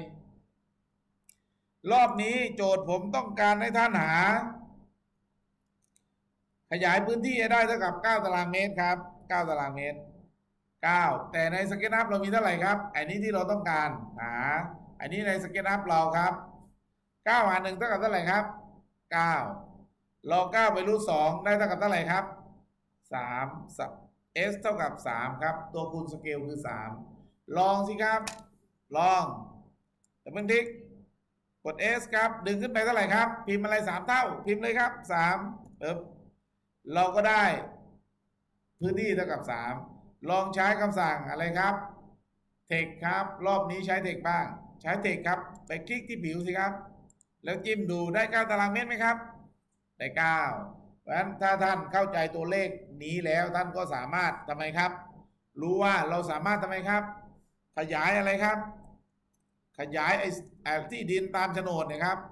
ที่เราอินพอร์ตเข้ามาเนี่ย ให้มันเท่ากับพื้นที่จริงได้ แล้วเราก็สามารถวัดระยะได้ ใช่ไหมครับ ถูกไหมอ้าว ทีนี้นะครับ อันนี้ผมสร้างยังไงลองกด Control C ครับ ลากลากจากซ้ายมาขวา กด Control C แล้วกด Control V วางข้างนอกหน่อยครับ ส่วนที่อยู่ในโฉนดลบออกซะนะครับ วิธีการก็คือนำภาพ Import ภาพโฉนดเข้ามาครับ แล้วลากเส้นตามโฉนดเลยครับ ลากเส้นให้รอบมันก็เกิดผิวพอเกิดผิวเราวัดพื้นที่ได้ไหมครับ วัดพื้นที่ได้นะทีการตั้งมาวาดไปที่กลางอะไรครับ กลางเส้นนี่นะครับนะนะครับ อันนี้สมมุติว่าผมวาดไปที่วงกลมครับปึ๊บกลางของวงกลมครับ เรียบร้อย แล้วผมก็ได้พื้นที่ผิวขึ้นมา แค่นี้ก็ได้พื้นที่ผิวแล้วครับนะลากคอนโทรล C คอนโทรล V มานะครับนะนะครับ อันนี้ อันนี้เข้าใจนะทำเป็นนะครับ ก็คือลากตามโฉนดนั่นเองให้ได้พื้นที่ผิวอ่าตอนนี้พื้นที่ผิวที่มันคำนวณได้คือ 4.55 ครับ แต่ผมไม่ได้ต้องการแค่นี้ ผมอยากให้มันละเอียดกว่านี้ ตามผมมาครับไปเพิ่มทศนิยมหน่อย ไปที่ Windows ครับ แล้วไปที่ Model Info แล้วไปที่ Unit ครับ ทวนอีกทีนะครับ Windows Model Info แล้วก็ไปที่ Unit แล้วเห็นช่อง Precision ไหมครับ ช่วยขยายเป็น 4 ตำแหน่งครับนะเพื่อว่าสมมุติมันมีทศนิยมเพิ่มขึ้นที่มันซ่อนอยู่ครับ เราจะได้มองเห็นนะครับ แล้วหลังนั้นก็กดเลยครับ กดปิดไปหน้านี้ มันไม่มีให้ปุ่มโอเคครับ กดปิดอย่างเดียว แล้วลองใช้คำสั่งเทคครับ จิ้มใหม่สิครับเทค คลิกไปที่เทคครับ แล้วไปคลิกที่ผิวใหม่ รอบนี้มันจะมีเลขเพิ่มขึ้นครับ อ่านะครับ แต่ทำไมเราตั้งสี่ตำแหน่งทำไมในนี้มันแค่สามตำแหน่งครับ เพราะข้างหลังมันไม่มี แต่ถ้าอันไหนที่ท่านทำเป็น dimension เช่นอันนี้ครับ ผมสร้างสี่เหลี่ยมขึ้นมา แล้วผมใช้ dimension ลาก dimension เนี่ยถูกบังคับด้วยสี่ตำแหน่งนะครับ แต่ถ้าเทคนะครับมันไม่ถูกบังคับ ถ้าข้างหลังเป็นศูนย์มันก็จะตัดเหลือแค่สามตำแหน่งนะครับนะโอเคครับ นั้นตอนนี้ครับ ผมจะเอาขยายอะไรครับ ขยายพื้นที่ 4.552 ตารางเมตร ให้เท่ากับพื้นที่เท่าไหร่ครับ 7 ไร่ 1 งาน 36 ตารางวา โดยใช้ความสามารถของคำสั่งสเกลเมื่อกี้นั่นแหละครับ ขยายนะครับนะอ้าวทีนี้เราก็แปลงหน่วยไร่ให้เป็นหน่วยอะไรครับ หน่วยเมตร หน่วยตารางเมตรนั่นเองนะครับ แปลงหน่วยไร่เป็นตารางเมตร เจ็ดคูณอะไรครับถึงจะได้ตารางเมตรเจ็ดคูณพันหกใช่ไหมหนึ่งคูณสี่ร้อยใช่ไหมครับอ่าหนึ่งคูณสี่ร้อยแล้วก็สามสิบหกคูณอะไรครับ คูณสี่ได้เท่าไหร่ครับ คูณให้หน่อยหนึ่งคูณพันหกเจ็ดคูณพันหกหนึ่งคูณสี่ร้อยสามสิบหกคูณสี่ได้เท่าไหร่ครับหนึ่งหนึ่งเจ็ดสี่สี่ไหม ใช่ไหมครับพอดีสอนมาหลายรุ่นเลยเหมือนจะใช่ ได้ไหมครับ ถูกไหมหนึ่งหนึ่งเจ็ดสี่สี่ไหมทีนี้สกินอัพนะครับ มีความสามารถพิเศษ ถ้าลองใช้จิ้มที่คำสั่งเทคสิครับ จิ้มที่คำสั่งเทคถ้าท่านจิ้มที่ผิวมันได้ผิว จิ้มที่เส้นมันได้อะไรครับ อ่าได้ได้ความยาวเส้น จิ้มที่มุมมันได้ได้พิกัด ถ้าท่านจิ้มพื้นที่ว่างๆครับ มันได้ตัวหนังสือเฉยๆ ฝากไว้ที่หน้าจอได้อ้าวลองจิ้มสิครับ แล้วคลิกลงไปนะครับ เราสามารถที่จะลบได้ด้วยนะ ผมจิ้มคำสั่งเทคนะครับ แล้วผมมาฝากไว้ เมื่อกี้เจ็ดไร่หนึ่งงานสามสิบหกตารางวาเท่ากับเท่าไหร่ครับกี่ตารางเมตร ไม่รู้ถูกหรือเปล่านะผมอาจจะจำผิดนะเท่านี้ไหมครับ ถูกไหมใครกดอยู่มั่งไม่มีใครกดเลย พึ่งไม่ได้เลย เอาเช็คอีกทีสิครับ ขอเช็คอีกทีหนึ่งหนึ่งเท่าไหร่ครับเจ็ดคูณพันหกตัวเลขถูกไหมครับเจ็ดคูเจ็ดนะครับเจ็ดคูณพันหกร้อยบวกอะไรครับ บวกสี่ร้อยก็คือสี่คูณหนึ่งร้อยนั่นเองแล้วก็บวกสามสิบหกคูณสี่นะครับ เพื่อแปลงเป็นตารางเมตรได้หนึ่งหนึ่งเจ็ดสี่สี่อ่าโอเคนะครับ แสดงว่าจำไม่ผิดนะ หนึ่งหนึ่งเจ็ดสี่สี่หน่วยเป็นอะไรครับแต่ผมที่เพิ่มหน่วยไปสิเพราะนั้นตรงนี้มีประโยชน์ไหมครับเนี่ย การที่มันสามารถ เขียนข้อความฝากไว้ที่หน้าจอมีประโยชน์ไหมครับ มีไหมกำลังนั่งทำงานอยู่ เมียโทรมาบอกว่า เที่ยงนี้ซื้อก๋วยเตี๋ยวมาฝากด้วยสองถุงเราก็รีบจดเลยครับนะหากระดาษไม่ได้ก็จดลงไปที่ไหนครับ หน้าจอนี่แหละครับนะก๋วยเตี๋ยวสองถุงหนึ่งหนึ่งเจ็ดสี่สี่หารอะไรครับ หารอะไร หารพื้นที่ตามสกินัพก็คือเท่าไหร่ครับสี่จุดอะไรครับสี่จุดห้าสองก็เอาอะไรครับสี่จุดห้าสองไปไปวางครับอ่านะครับอ่าหนึ่งหารด้วยสี่จุดห้าสองครับสี่จุดห้าสองเรียบร้อยครับอ่าได้เท่ากับเท่าไหร่นะครับอ่าสมมติได้เท่ากับ a ก็เอา a เป็นรูทอะไรครับรูทสองได้เท่ากับตัวคูณสเกลอ้าวโอเคนะครับ ผมลองอ่านให้นะ เดี๋ยวท่านก็จดตัวเลขตามผมมาแล้วกันนะหนึ่งหนึ่งเจ็ดสี่สี่หารสี่จุดห้าสองได้เท่ากับสองพันห้าร้อยเจ็ดสิบเก้านะครับ แต่ไม่ต้องจดนะ ผมเอาไปถอดรูทเลยนะครับ เอาสองเอาสองเอาเสียงหายทีนี้ เสียงหายก็เลิกเลยครับเดี๋ยวสองพันห้าร้อยเจ็ดสิบเก้าครับ ผมเอาไปถอดรูทครับรูทสองพันห้าร้อยเจ็ดสิบเก้านะครับอ่าเดี๋ยวท่านจดตัวเลขตามผมได้เลยนะครับถอดรูทก่อนนะครับได้เท่ากับห้าสิบจุดเจ็ดเก้าสามสามห้าสี่สามเก้าสี่ครับอ้าวจดเข้าไปได้เท่ากับห้าสิบครับจุดเจ็ดเก้าสามสามห้าเอาทศนิยมทุกตำแหน่งนะครับสี่สามเก้าสี่นี่คือตัวคูณสเกลครับคือ S นะครับห้าสิบจุดเจ็ดเก้าสามสามห้าสี่สามเก้าสี่นะโอเคนะครับอ่าผมก็เอาไปคูณครับ ผมก็ไปที่ไหนครับ ผมก็มาที่รูปนี้แหละครับ รูปที่มันสี่จุดสองสองห้านะครับนะ แล้วผมก็ทำไมครับ ลากครอบหรือดับเบิลคลิกก็ได้ แล้วกด S ครับ แล้วที่ช่องนี้ผมก็พิมพ์ไปครับห้าสิบพิมพ์ตามผมไปเลยครับ จุดเจ็ดเก้าสามสามห้า สี่สามเก้าสี่ครับห้าสิบจุดเจ็ดเก้าสามสามห้าสี่สามเก้าสี่หมายความว่าขยายขึ้นกี่เท่าครับ ประมาณห้าสิบจุดเจ็ดเก้าเท่านะ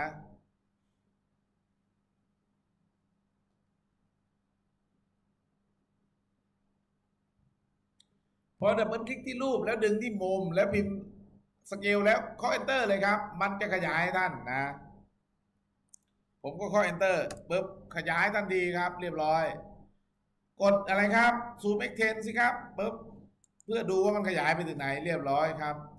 หลังจากนั้นผมใช้คำสั่งเทคครับ จิ้มลงไปที่ผิวเพื่อเอาไปเทียบกับระยะขนาดที่เราคำนวณขึ้นมาจากโฉนดครับ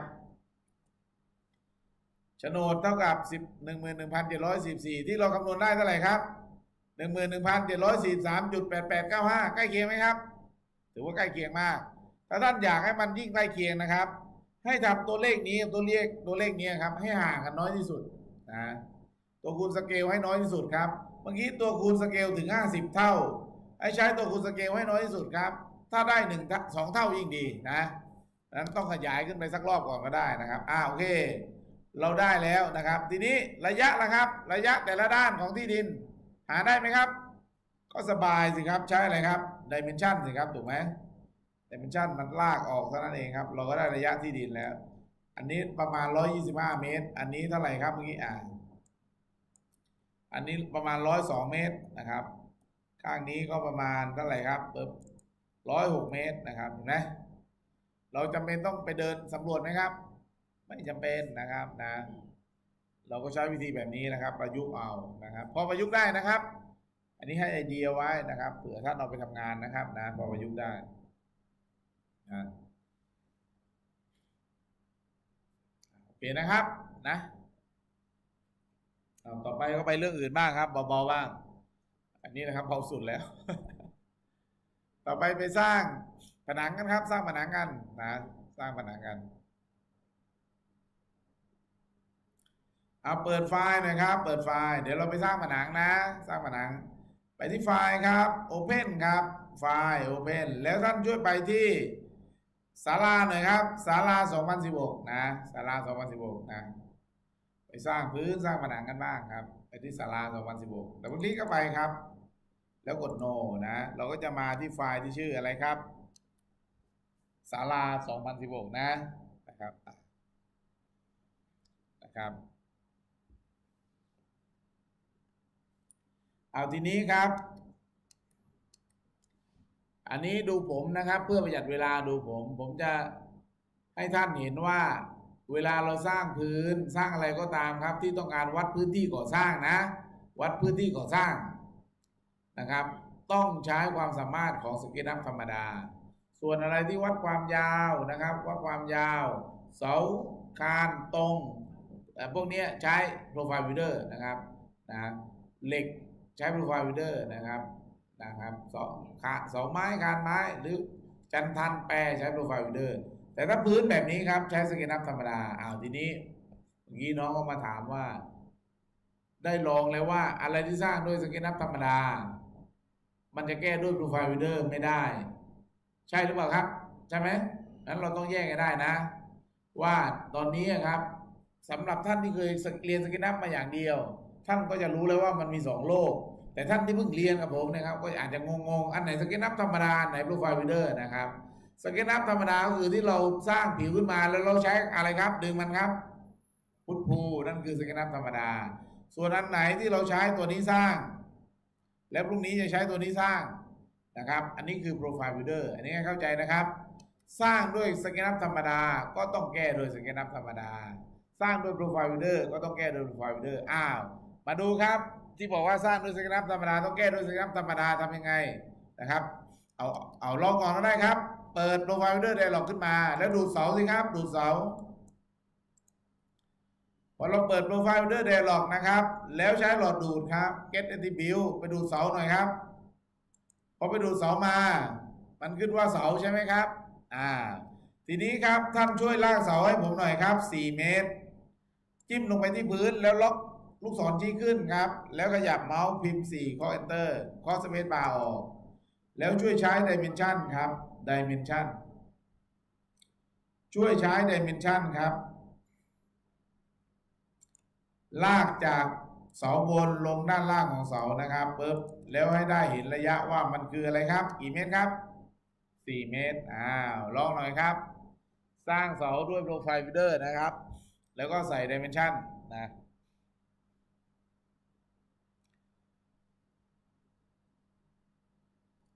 ข้างหลังหนาวไหมครับเนี่ย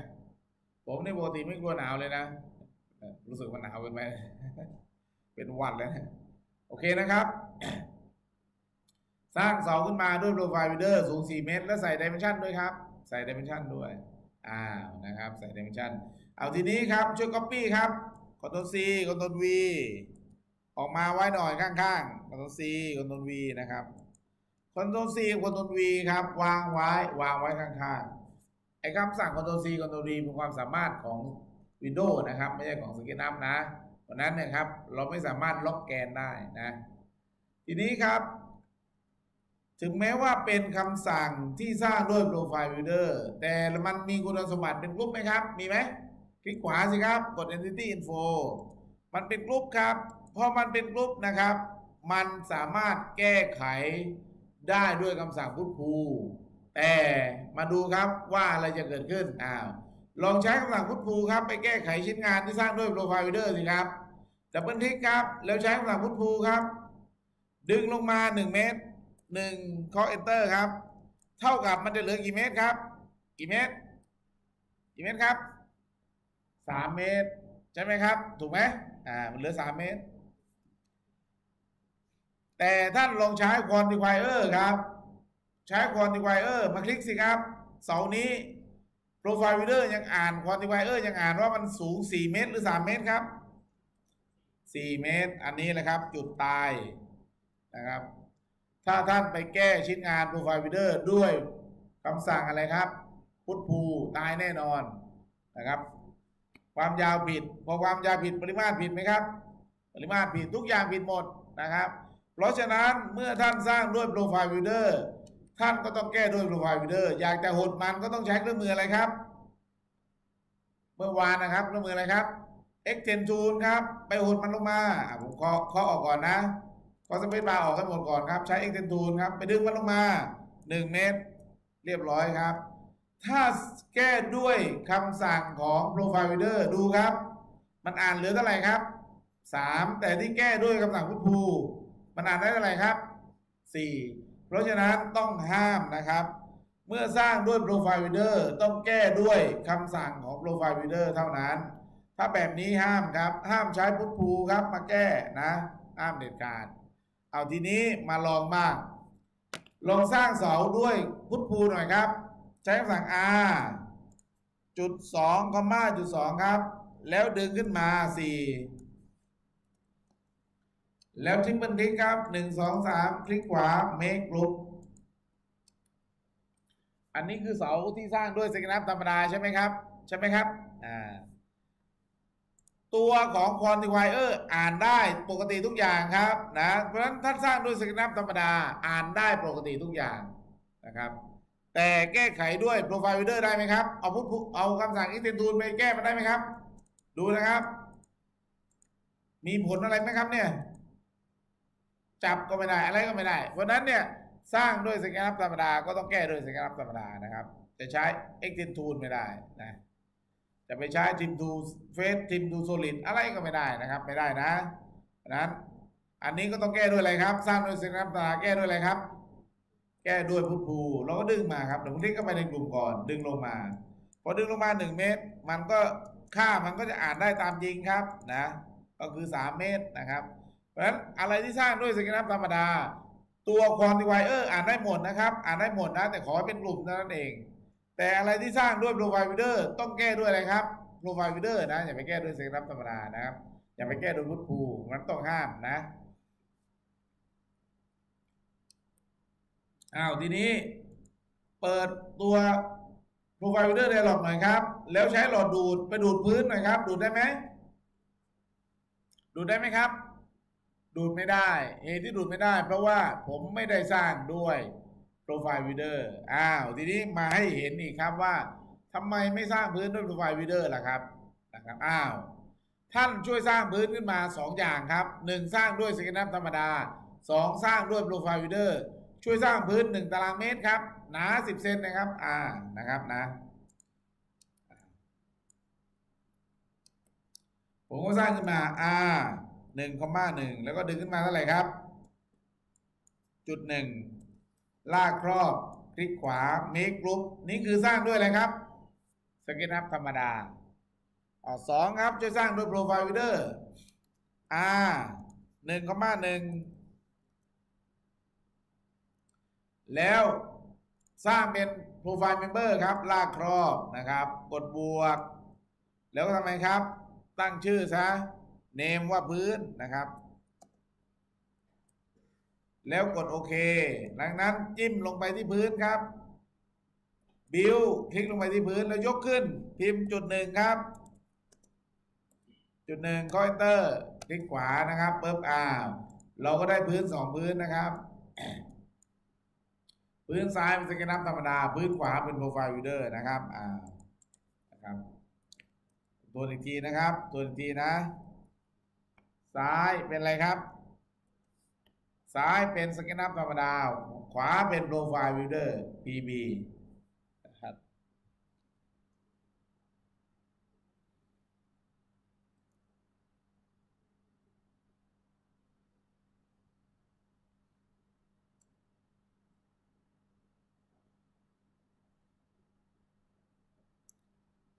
เอาได้ไหมครับ ดูนะครับอ้าวที่สร้างไม่ทันก็ไม่เป็นไรนะ อยากให้ดูเท่านั้นเองครับว่า มันอ่านค่าผิดนะครับอ้าวดูครับที่มันสร้างด้วย SketchUp ธรรมดา ใช้ Profile Quantifier ครับ ผมไปจิ้ม ดูของผมก็ได้นะครับ ดูผมนะ นี่คือพื้นที่สร้างด้วย SketchUp ธรรมดา เราอ่านอะไรได้บ้างครับหนึ่งอ่านได้ length ความยาวคือด้านที่ยาวที่สุดนะครับ ด้านไหนครับยาวที่สุดก็มีสี่ด้านสอง area มันอ่านได้เท่าไหร่ครับ area คือพื้นที่ก่อสร้างมันอ่านได้เท่าไหร่ครับหนึ่งถูกต้องไหม เราจะสร้างพื้นมันอ่านได้หนึ่งถูกต้องไหมครับ ถูกต้องสามมันอ่านอะไรครับ volume ได้ศูนย์จุดหนึ่งถูกต้องไหมครับ ถูกต้องสี่มันอ่าน surface area ได้ศูนย์จุดสองสี่ถูกต้องไหมก็คือพื้นที่ผิวโดยรอบของอะไรครับของชิ้นงาน บนล่างแล้วก็ข้างข้างรอบรอบได้สองจุดสี่ถูกต้องไหมครับ ถูกต้องอ้าวทีนี้มาดูที่สร้างด้วย Profile Builder บ้าง พื้นนี้สร้างโดย Profile Builder คลิกปุ๊บครับ ความยาวอ่านได้ 0.1ทำไมได้ 0.1 ครับ Profile Builder อ่านความยาวจากการลากครับ เพราะฉะนั้นเมื่อกี้เราลากขึ้นเท่าไหร่ครับ 0.1 มันก็อ่านได้ 0.1 2แอเรียมันไม่ได้อ่านแอเรียที่ใหญ่ที่สุด แต่มันอ่านแอเรียที่ทำไมครับ ด้านที่ลากขึ้นนะครับ พอลากขึ้น ด้านข้างๆของที่มันลากครับ พื้นที่ไหนใหญ่ที่สุดก็คือ 0.1คูณ1ก็คือได้เท่าไหร่ครับ 0.1 เพราะฉะนั้นตรงกับความต้องการเราไหมครับ ไม่ตรงนะครับ เพราะเราต้องการพื้นที่ก่อสร้างนะครับ พื้นที่ก่อสร้าง พื้นที่เทคอนกรีตนะครับ เราไม่ได้ต้องการอะไรครับ ความยาว ความยาวที่ลากขึ้น เพราะนั้นอะไรก็ตามที่เป็นลักษณะแผ่นพื้น หรือผนัง ท่านต้องสร้างด้วย SketchUp ธรรมดา หรือโปรแกรมเสริมซึ่ง มีคุณสมบัติเหมือน SketchUp ธรรมดานะครับนะครับ แต่ถ้าอะไรก็ตามที่เป็นความยาวครับ เช่นเสาคานอะไรครับเนี่ยแปรจันทานพวกนี้ครับ หรือแม้แต่หลังคา อันนี้ครับ อันนี้ดูเหมือนพื้นที่แต่จริงๆแล้วเราวัดอะไรมันครับ หลังคาเนี่ยวัดอะไรครับเมตรชีตเราวัดอะไรครับ ความยาวเพราะฉะนั้นอย่าไปสับสนนะเมตรชีตเอง เราก็วัดความยาว เราไม่ได้วัดพื้นที่ เพราะฉะนั้นอะไรที่วัดความยาว เราใช้อะไรครับ profile builder งงไหมครับ ไม่งงนะ อ่า โอเคนะครับ เพราะฉะนั้นเวลาจะสร้างพื้นห้ามใช้โปรไฟล์วิดเดอร์สร้างนะครับนะนะครับเพราะงั้นมันอ่านค่าผิดนะ โอเคครับ ทีนี้เราลองไปสร้างพื้นกันครับเราสร้างพื้นกัน แล้วตั้งราคาพื้นกันนะครับ ก็สร้างพื้นขึ้นมาครับอ้าวทีนี้ เพื่อให้เห็นภาพว่า เวลาเราจะสร้างพื้นแล้วเรามีเสาอย่างนี้เราจะแก้ปัญหาไง ตอนนี้ขอให้ท่านช่วยก๊อปปี้เสาออกมาหน่อยครับ ลากจากขวามาซ้ายแบบผมนะครับขวามาซ้ายแบบผมนะครับ ให้โดนเสาอย่างเดียว แล้วกดคอนโทรล C กดคอนโทรล V ครับ มาวางเสาไว้ข้างๆหน่อยสิครับ อ่านะครับขอมุมมองข้างๆมันนะครับ แล้วลากจากขวามาซ้ายให้โดนเฉพาะเสา แล้วกดคอนโทรล C กดคอนโทรล V ครับ มาวางเสาไว้นะครับ อ่า แล้วเดี๋ยวจะสอนวิธีลากพื้นเพื่อเลี่ยง ไม่ให้โดนเสานะครับนะลากพื้นเพื่อเลี่ยงไม่ให้โดนเสาโอเคนะครับ มาลองกันนะครับอ้าวดูครับ ทีนี้ปกติถ้าเราลากอย่างนี้มันจะโดนเสานะครับ ดูผมนะ ถ้าผมลากจากมุมเสาซ้าย มามุมเสาขวาอย่างนี้นะครับ แล้วผมดึงขึ้นมา จุดหนึ่งอย่างนี้มันจะมีส่วนที่มันอมกันไหมครับ สังเกตสิครับ มีไหมครับ เห็นไหมการอมกันทำให้เราคำนวณปริมาณงานผิดพลาดไหมครับ ผิดพลาดนั้นเราจะเลี่ยงครับ โดยการลากไม่ให้โดนเสาซะเอาดูครับวิธีการของผมเดี๋ยวท่านก็ลองทำตามนะครับ ดูก่อน ผมลากข้างในสิครับ ลากข้างใน แล้วก็ใช้สั่ง R นะครับ R นะ R ลากข้างในไปหาข้างในครับ แบบนี้โดนเสาไหมครับ โดนไหม โดนไหมครับ ไม่อมกับเสาใช่ไหมครับ แล้วผมใช้วิธีเติมข้างๆมันครับปุ๊บเท่ากับผมเนี่ยครับ ลากสี่เหลี่ยมกี่ครั้งครับสามครั้งถูกต้องไหมครับ เรียบร้อย ผมก็ได้พื้นแล้ว แล้วผมเสียเวลาลบอะไรออกสักหน่อยนะครับอ่าลบเส้นนะครับ มันก็ทำให้พื้นกลายเป็นผิวเดียวกัน แล้วดึงขึ้นมาครับปึ๊บ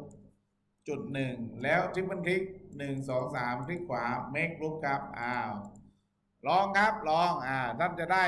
เขียนพื้นแบบที่ไม่ไปทำไมครับ ไม่ไปสร้างพื้นที่อมกับเสา แต่ถ้าท่านเขียนอมไปแล้ว เดี๋ยวผมมีวิธีแก้ไขอีกนะครับว่าต้องตัดมันนะ เดี๋ยวไว้บอกนะครับว่าจะแก้ไขยังไงนะ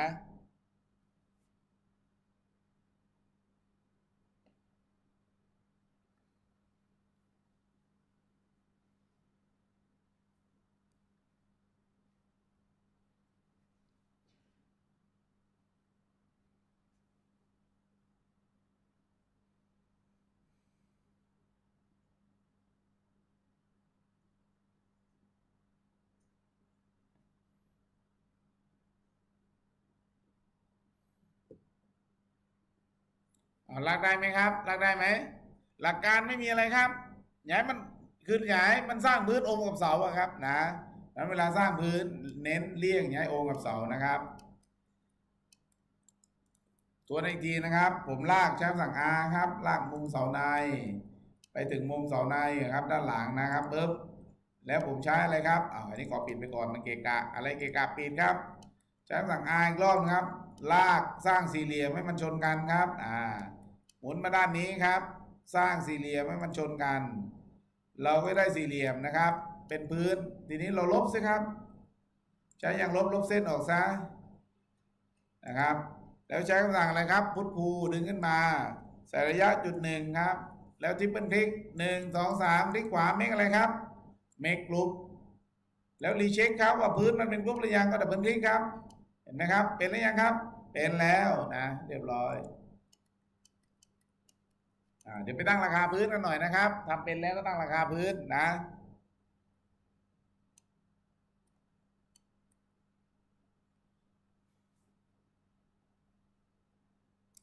ถ้าท่านมีเวลานะครับ เวลาทำงานก็เขียนชั้นทราย ถ้ามีชั้นทรายก็เขียนชั้นทราย ถ้ามีชั้นกระเบื้องก็เขียนอะไรครับ ชั้นอะไรครับ ชั้นกระเบื้องขึ้นมา มีปูนทรายขึ้นมา ส่วนจะปูนทรายหนาเท่าไหร่ขึ้นอยู่กับท่านนะครับ นะครับปูกระเบื้องแบบไหนแบบเปียกแบบแห้งนะ แต่ถ้ามีเวลาจำกัด เราสามารถใช้พื้นอย่างเดียวนะครับคำนวณทุกอย่างได้ไหมคำนวณทรายคำนวณเหล็กคำนวณปูกระเบื้องได้ไหมครับ ได้ไหมได้ครับ เพราะพื้นนี้เมื่อคำนวณสร้างด้วย SketchUp ธรรมดา มันได้พื้นที่ก่อสร้างถูกต้องไหมครับ ได้พื้นที่ก่อสร้าง ท่านต้องแยกกันได้นะ ระหว่างพื้นที่ก่อสร้างกับพื้นที่ผิวนะอ่านะครับปูกระเบื้อง สามารถทำได้ทั้งสองแบบ เอาพื้นที่ผิวก็ได้ครับมาคำนวณ หรือเอาพื้นที่ก่อสร้างก็ได้ ถ้าพื้นที่ก่อสร้างต้องคำนวณใน layer พื้นที่ผิวคำนวณในไหนครับ material นะอ่าไม้แบบเป็นพื้นที่ผิวคำนวณ material ทาสีเป็นพื้นที่ผิวคำนวณใน material นะครับ โอเคครับ เดี๋ยวเราเรามาตั้งราคาพื้นกันครับอ่าทีนี้กดชิป L สิครับ เช็คให้ผมหน่อยมี layer อะไรบ้างตอนนี้ มี layer อะไรบ้างครับ ยังไม่มี layer อะไรเลย เพราะยังไม่ได้ตั้งอะไรสักอย่างหนึ่งนะครับ ใส่ไปสิครับ Shift L ขึ้นมาแล้วกดบวกครับ ใส่พื้นไปสิครับเลเยอร์พื้นคอ enter นะครับ อ้าว กด B สิครับ ตอนนี้มีวัสดุอะไรบ้างครับ มีแค่อะไรครับ สีทาไม้ อ่า นะครับ มีแค่สีทาไม้ โอเคนะครับ อ้าว ตอนนี้ครับ ผมจะพาท่านตั้งราคาพื้น คลิกไปที่ตัว Quantifier ครับ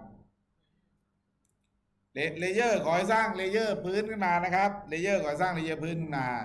ชิป L นะครับ แล้วก็ขอให้ท่านสร้าง layer พื้นขึ้นมา แล้วทีนี้ครับ เปิด Quantifier ขึ้นมา Shift Q ครับ Shift Q เปิด Quantifier นะครับ แล้วไปที่ layer พื้นครับ คลิกไปที่ layer ครับ ตอนนี้มี layer เดียวคือ layer อะไรครับพื้นใส่เข้าไปครับพื้นอ่านะครับ ต่อไปครับ layer พื้น ก็ใส่ธรรมดาครับ มันเป็นคอนกรีตใช่ไหมครับอ่าเราใส่ไปสิครับอ่าเส้นใส่เป็นสองพันสามอ่าสมมุตินะครับ หรือสองพันสี่เลยก็ได้ครับเพราะเดี๋ยวเราจะใส่เหล็กเสริมอ่าสองพันสี่กิโลกรัมต่อลูกบาศก์เมตรบรรทัดต่อไปครับ ก็ใส่ไปครับ อันนี้ใส่เร็วๆเลยนะ เพราะเราเจอมาครั้งที่สามแล้วใส่คอนกรีตครับ อ่าคอนกรีตพื้น อ่านะครับ อ่านอะไรครับ อ่านอะไร คอนกรีตอ่านอะไรครับ อ่านปริมาตรครับนะเราก็อ่านไปครับปริมาตร M3 นะครับแล้วก็ unit ที่เราต้องการก็คือลูกบาศก์เมตรครับ โชว์ใน BOQ ว่าลูกบาศก์เมตร อ่านเป็นปริมาตรลูกบาศก์เมตร ได้ output หรือ unit ลูกบาศก์เมตรนั้น factor เป็นหนึ่ง นะครับแล้วก็ใส่ไปครับ เช่นราคา 2,000 อันนี้ใส่สามรอบแล้วนะนับต่อไปครับอะไรครับ ค่าแรง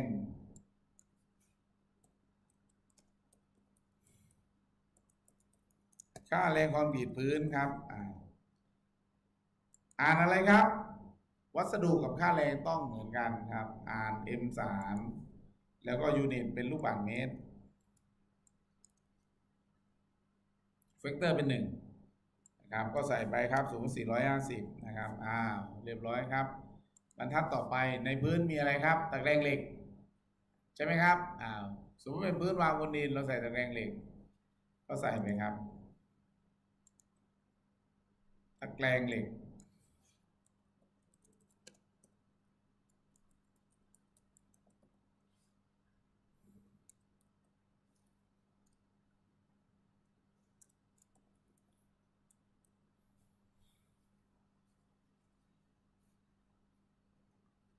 า พอใส่ตะแกรงเหล็กครับปุ๊บอ้าวอ่านอะไรครับ เพื่อได้พื้นที่ตะแกรงเหล็กอ่านอะไรครับ อ่านพื้นที่ก่อสร้างไงครับถูกไหมก็คืออะไรครับ M อะไรครับ M สองอ่าได้ แล้ว unit ก็เป็นอะไรครับ ตารางเมตรเหมือนกันมัน factor เป็นอะไรครับ factor เป็นหนึ่งก็คืออ่านได้พื้นที่ผิวของพื้นไอ้ไม่ใช่พื้นที่ผิวครับ พื้นที่ก่อสร้างพื้น ได้กี่ตารางเมตรนะครับ ปกติเราก็เสริมตะแกรงเหล็กลงไปเท่ากับจำนวนตารางเมตรอยู่แล้วใช่ไหมครับ อ่า เราก็ใส่เข้าไปตารางเมตรอ่าใส่เข้าไปครับ สมมติตารางเมตรละยี่สิบห้าบาท เราก็ใส่เข้าไป เอามาด้านที่สี่ใส่อะไรครับ ค่าวางตะแกรงเหล็กใช่ไหมครับ อ่า ค่าแรงวางตะแกรงเหล็กอ่าก็เป็นค่าวางตะแกรงเหล็ก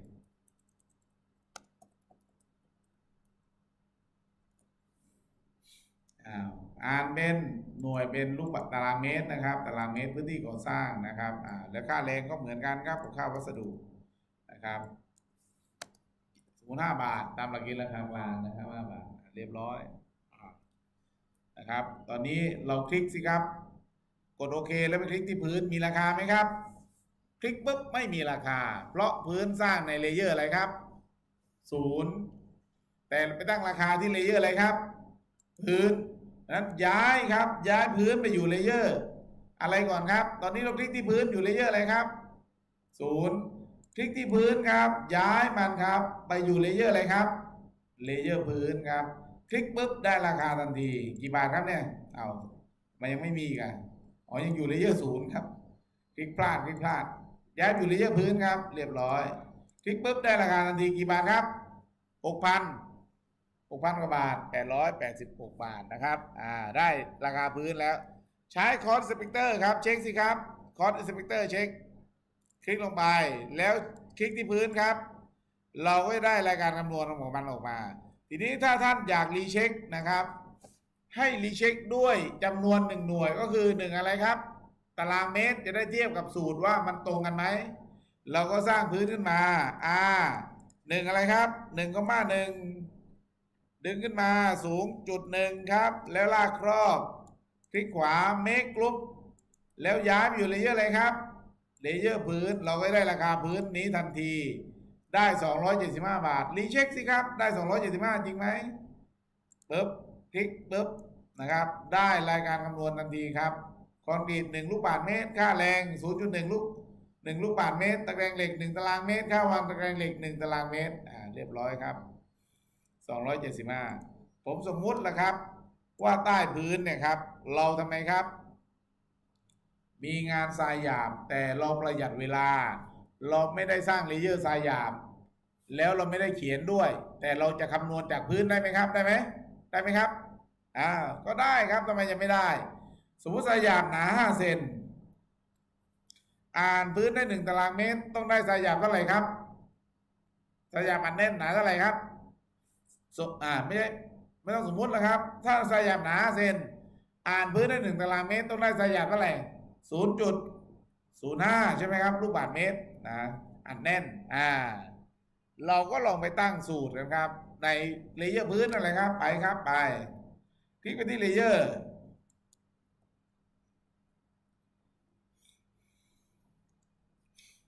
คลิกไปที่ layer ครับ ที่ layer กดเพิ่มครับนะที่ layer พื้นตอนนี้ครับ กดเพิ่ม พอกดเพิ่มครับ ขยับนิดหนึ่งนะ เพราะมันอาจจะแอบอยู่ข้างล่างนะครับ ขยับนิดหนึ่งขยับเมาส์นะ scroll เมาส์ครับ scroll เมาส์อ่าก็ใส่ไปครับทรายหยาบรองพื้น ชุ่มน้ำอัดแน่นใส่ไปครับ เรียบร้อย เติม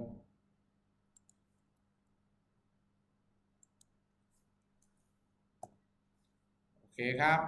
อ่านอะไรบอกผมได้ไหมครับ อ่านอะไรครับ เพื่อได้สยามอ่านอะไรครับ อ่านพื้นที่ก่อสร้างใช่ไหมครับอ่าก็อ่านนะครับเมกกำลังสองนะครับแล้วบิลคิวแล้วครับ ต้องการโชว์อะไรครับทรายโชว์อะไร โชว์อะไรครับลูกบาศก์เมตรใส่ไปเลยครับ เดี๋ยวค่อยหาความสำคัญมัน นั้นไม่ต้องสนใจนะ คนละหน่วยก็เรื่องของเขาแต่เราหาความสัมพันธ์ได้ใช่ไหมครับ หาความสัมพันธ์มาเท่านั้นเอง อ่านได้หนึ่งตารางเมตร ความหนาห้ามิลห้าเซนครับ ต้องได้ปริมาตรทรายเท่าไหร่ครับศูนย์จุดศูนย์ห้าใช่ไหมครับ ก็ใส่ไปครับศูนย์จุดศูนย์ห้าลูกบาศก์เมตร หมายความว่าพื้นที่ก่อสร้างหนึ่งตารางเมตร จะต้องได้ทราย0.05ลูกบาศก์เมตรครับอ่าสมมติทรายลูกบาศก์เมตรหลวม ลูกบาศก์เมตรหลวมนะครับ เน้นย้ำว่าลูกบาศก์เมตรหลวม ก็คือราคาที่เราเอาจากพาณิชย์จังหวัดนั่นเองนะสมมติสี่ร้อยบาทอ้าวแต่หลักเกณฑ์บอกว่าทรายชุบน้ำอัดแน่น อัตราส่วนการยุบตัวกดอัดแน่นด้วยแรงคนนะครับ อัตราส่วนการยุบตัวคือ1.25 หมายความว่าไงครับ หมายความว่าเราต้องใช้ทรายหลวมนะครับ 1.25คิว พื่อมาอะไรครับ อัดแน่นเป็นทรายรองพื้นกี่คิวครับ1คิวนะอ่า1.5คิวนั้นเราก็ต้องเผื่อกี่เปอร์เซ็นต์ครับ25เปอร์เซ็นต์นะก็ใส่ไปครับอ้าวเผื่อยี่สิบห้าเปอร์เซ็นต์เอาต่อไปครับบรรทัดต่อไป ค่าอะไรครับ ค่าแรงทรายรองพื้นครับเอผมกดเพิ่มไม่ยังเนี่ยเอายังกดเพิ่มครับ ได้บรรทัดต่อไปครับอ่าค่าแรงทรายหยาบชุบน้ำอันแน่นนะก็กดสิครับ แล้วก็วางค่าแรง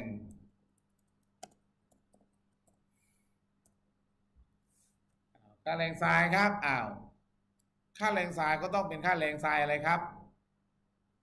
อ่าค่าแรงเอาเราไม่เผื่อนะค่าแรงอ่าสมมติค่าแรงไม่ไม่ไม่ต้องสมมติแล้วครับค่าแรงไม่เผื่อ อ่านปริมาตรเป็นอะไรครับ เป็นเมตรกำลังสองนะครับอ่า นี่ถูกช่องไหมเนี่ยเอาถูกแล้วครับ หน่วยเป็นลูกบาศก์เมตรเหมือนกัน ค่าแรงก็หน่วยเป็นลูกบาศก์เมตรนะครับ ก็เป็น 0.5 เหมือนกันนะครับ 0.05 นะ ค่าแรงอะสมมติว่า 99 บาทครับใส่เข้าไป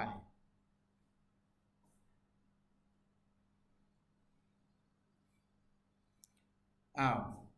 อย่าเพิ่งกดโอเค ผมมีคำถามท่านหน่อย สมมุติว่าอันนี้พื้น อันนี้ทรายครับ แต่ถ้าเรามีชั้นปูกระเบื้องด้วยนะครับ ชั้นปูกระเบื้องด้วย เราคิดจากพื้นที่พื้นได้ไหมครับ ได้ไหมได้ไหมครับ ได้ไหมครับ ก็ได้เหมือนกันถูกต้องไหมครับนะหรือเราจะไปคิดปูกระเบื้องจากการเทพื้นที่ผิวกระเบื้องลงไปก็ได้นะครับ แต่ตอนนี้เอาคิดจากพื้นที่ก่อนครับสมมุติว่าปูกระเบื้องอ่า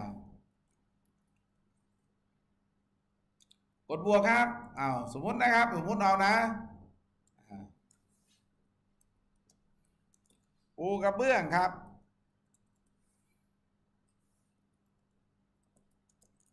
รวมวงเล็บหน่อย รวมปูนทรายอัน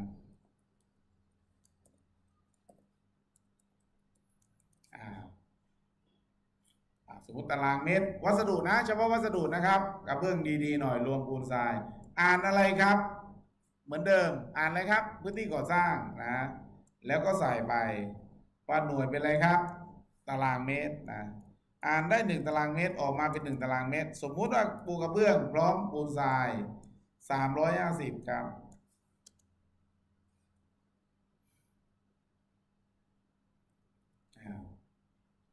เอาไม่ใช่ครับ อันนี้ต้องเป็นอะไรครับหนึ่งปิดสามร้อยสิบคือค่าแรงครับอ่าค่าวัสดุค่าวัสดุอ้าวเอาบรรทัดต่อไปครับ กดบวก ค่าแรงปูกระเบื้องครับ อ่า ค่าแรงปูกระเบื้อง ลากครอบคำว่าปูกระเบื้องมาซะก่อน กด Control C กด Control V วางนะครับ แล้วก็ใส่คำว่าค่าแรง ค่าแรงปูกระเบื้องนะครับ ก็อ่านได้ตารางเมตรเหมือนกันครับ หน่วยเป็นที่อยู่ใน BOQ คือตารางเมตรเหมือนเดิมนะครับ factor เป็นหนึ่งค่าแรงอะสมมติร้อยแปดสิบครับค่าแรงปูกระเบื้องร้อยแปดสิบนะครับ เรียบร้อยครับ กดโอเคอ่าเรียบร้อยครับ มาจิ้มที่หนึ่งตารางเมตรสิครับ มันขึ้นว่ากี่บาทแล้วครับตอนนี้ กี่บาทครับแปดร้อยกว่าบาท ใช้ตัวของ cost inspector เช็คสิครับ มาจากอะไรครับแปดร้อยกว่าบาทหนึ่งคอนกรีตพื้นสองค่าแรงคอนกรีตพื้นสามตะแกรงเหล็กหนึ่งตารางเมตรนะครับสี่อะไรอีกครับ ค่าแรงตะแกรงเหล็กห้าทรายชุบน้ำอัดแน่น หนึ่งตารางเมตรทำไมถึง 0.625 ครับ เพราะเราเผื่อกี่เปอร์เซ็นต์25เปอร์เซ็นต์นี่คือทรายหลวมนะครับ อ่า ค่าแรงนะครับ อ่าปูกระเบื้องหนึ่งตารางเมตร ค่าแรงปูกระเบื้องนะครับ อ่า ดูราคาสิครับ ปกติไหมอ่า ถูกต้องทุกอย่างครับเพราะฉะนั้นพื้นนี้หนึ่งตารางเมตรกี่บาทแล้วครับเนี่ยแปดร้อยกว่าบาท ถ้าคลิกทั้งอะไรครับ ทั้งหลังก็เท่าไหร่ครับสองหมื่นกว่าบาทนะครับ ได้ไหมครับ นะเอามารวมกันทุกอย่างท่านเขียนอะไรไปท่านก็ได้ราคาหมดนะครับนะเขียนไปได้ราคาหมดนะ การประยุกต์ทำได้หลากหลายนะครับ การประยุกต์ทำได้หลากหลายอ้าวเดี๋ยวพื้นมาสอนอีกแบบนะครับ สอนพื้นอีกแบบที่คิดราคาใน material นะครับอ่าตอนนี้ท่านช่วยสร้างพื้นให้ผมหน่อยครับสี่คูณสี่สูง สูงห้าเซน สูงห้าสูงสักสี่สิบสูงสักสามเมตรครับ เอ้ย สูงสักห้าสิบเซน อ่าอ่าครับ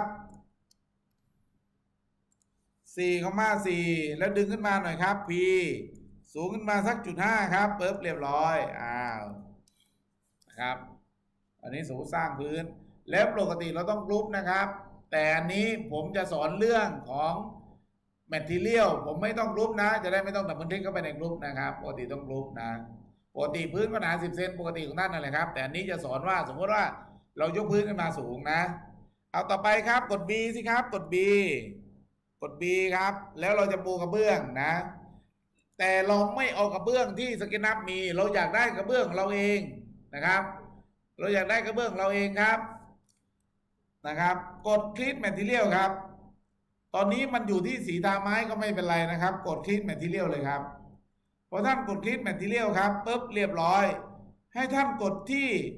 ปุ่ม browse for material ครับ เจอไหมครับ เจอไหมครับ กด create material แล้วก็กดปุ่ม browse ครับ เจอไหมครับ พอเจอปุ๊บเรากดปุ๊บให้ไป browse ที่ตัวของ workshop ของเราครับ ก็ไปหา workshop ของเราแล้วที่ workshop ของเรานะครับ ตอนนี้ ล่าสุดคือเราเปิดตัวเป็นเลือกไฟล์ชนิดของไฟล์เป็น L support image type นั้นเราก็เจอทันทีครับ เลือกลายกระเบื้องหนึ่งเข้ามาสิครับ ลายกระเบื้องหนึ่งก็จะเข้ามานะครับ เรียบร้อยนะครับ แล้วตั้งชื่อสิครับว่า ปูกระเบื้องอ่า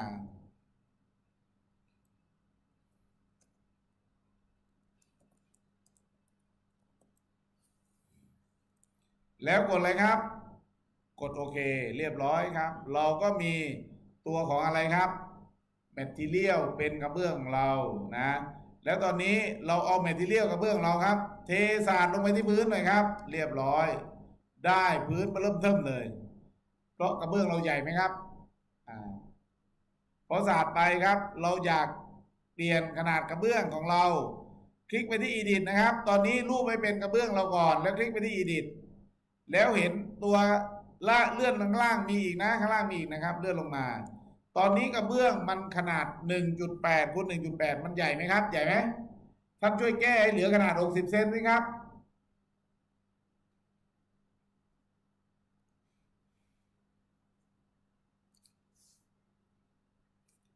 อ้าวแก้เหลือ 60 เซนครับเอบจุดหก ข้างล่างมันก็ได้จุดหกด้วยทันที เรียบร้อยครับ แล้วกระเบื้องเรามันปรับขนาดเองไหมครับ ปรับเองไหมในแบบปรับเองเห็นไหมครับอ้าวนะครับ นี่เป็นผมมีเจตนาอยากให้ท่านได้รู้ว่าท่านสามารถเอาลายกระเบื้องที่ท่านชอบ มาตกแต่งบ้านได้เองด้วยนะครับอ้าวต่อไปครับ ดูที่มุมกระเบื้องสิครับ ผมปิดไปก่อนนะขอสเปซบาวก่อน สังเกตที่มุมกระเบื้องสิครับ ตอนนี้เส้นแดงหันหนาท่านอยู่นะ ถ้าผมอยากให้มันเริ่มปูจากมุมนี้ได้ไหมครับ ผมอยากให้กระเบื้องมันเริ่มปูจากมุมนี้ให้สวยๆนะครับ ไม่ใช่ว่าอยู่ๆทำไมครับ มาเป็นเศษอยู่อย่างเงี้ยได้ไหมครับทำได้ไหมอ่ามามาสอนให้ครับสักนิดหนึ่งท่านจะได้ปรับได้นะนะครับจะได้เอาไปปรับได้ คลิกขวาที่กระเบื้องลายกระเบื้องนะครับ คลิกขวาตามผมมาเลยนะครับ คลิกขวา แล้วกดอะไรครับ texture ลิกขวาแล้วกด texture นะครับ แล้วกดเลือกที่ position แล้วมันจะมีปุ่มสีแดงนะครับ ขยับปุ่มสีแดงครับ นี่คือการเลื่อนตำแหน่งของลายกระเบื้องครับเท่านั้นเองนะครับปึ๊บส่วนปุ่มสีเขียวถ้าท่านจะเล่นนะครับคลิกขวา texture position สีเขียวคือการหมุนครับนะส่วนสีอื่นก็ลองจิ้มดูครับ ยิ่งจิ้มยิ่งมั่วนะนะรูปเป็นรูปอะไร อันพอมั่วไปแล้วก็คลิกขวาครับกดอะไรครับรีเซ็ตมันกลับมาตั้งตรงเหมือนเดิม แล้วก็ขยับครับ ใช้ปุ่มแดงขยับขยับได้ไหมครับ อ่า เรียบร้อยนะ นี่เป็นลักษณะของการใช้การปูกระเบื้องให้ได้ลายตามที่ท่านต้องการนะครับนะแล้วก็ได้ตำแหน่งตามที่ท่านต้องการด้วยนะครับนะในขณะเดียวกันเราสามารถเอาแมททีเทียลกระเบื้องไปคิดค่าปูกระเบื้องได้ไหมครับได้ไหม ได้ไหมครับ เมื่อกี้เราปูกระเบื้อง โดยอ้างอิงจากพื้นที่ก่อสร้าง แต่เดี๋ยวเราจะลองปูกระเบื้อง โดยอ้างอิงเป็นอะไรครับแมทเทียลก็เหมือนอะไรครับ เหมือนทาสีเหมือนไม้แบบนั่นเองนะครับนะก็ไม่ได้ต่างกัน เราก็ไปตั้งราคาที่ไหนครับกด quantifier ขึ้นมาแล้วไปที่ไหนครับ material นะครับ แล้วเลือกไปที่ปูกระเบื้องครับนะนะครับ แล้วกดบวกครับ ก็ตั้งชื่อเหมือนเมื่อกี้ครับปูกระเบื้องแล้วก็อ่านอะไรครับ ทีนี้อ่านอะไร อ่านพื้นที่ผิว เพราะเวลาเราปูกระเบื้อง เราก็มีพื้นที่ผิวถูกต้องไหมครับ อ่านพื้นที่ผิวที่ปูกระเบื้องนะครับเพิ่มยูนิตครับ เอาเหมือนเดิม หน่วยเป็นอะไรครับ ตารางเมตร แต่อย่าไปงงนะ เมื่อกี้เราคำนวณจากพื้นที่ก่อสร้าง แต่ตอนนี้เราคำนวณจากพื้นที่ผิวที่เราเทอะไรครับลายกระเบื้องลงไปอ่าเรียบร้อยหนึ่งตารางเมตร สมมุติว่าข้อมูลเดิมสามร้อยห้าสิบอันนั้นที่สองครับ ค่าแรงปูกระเบื้อง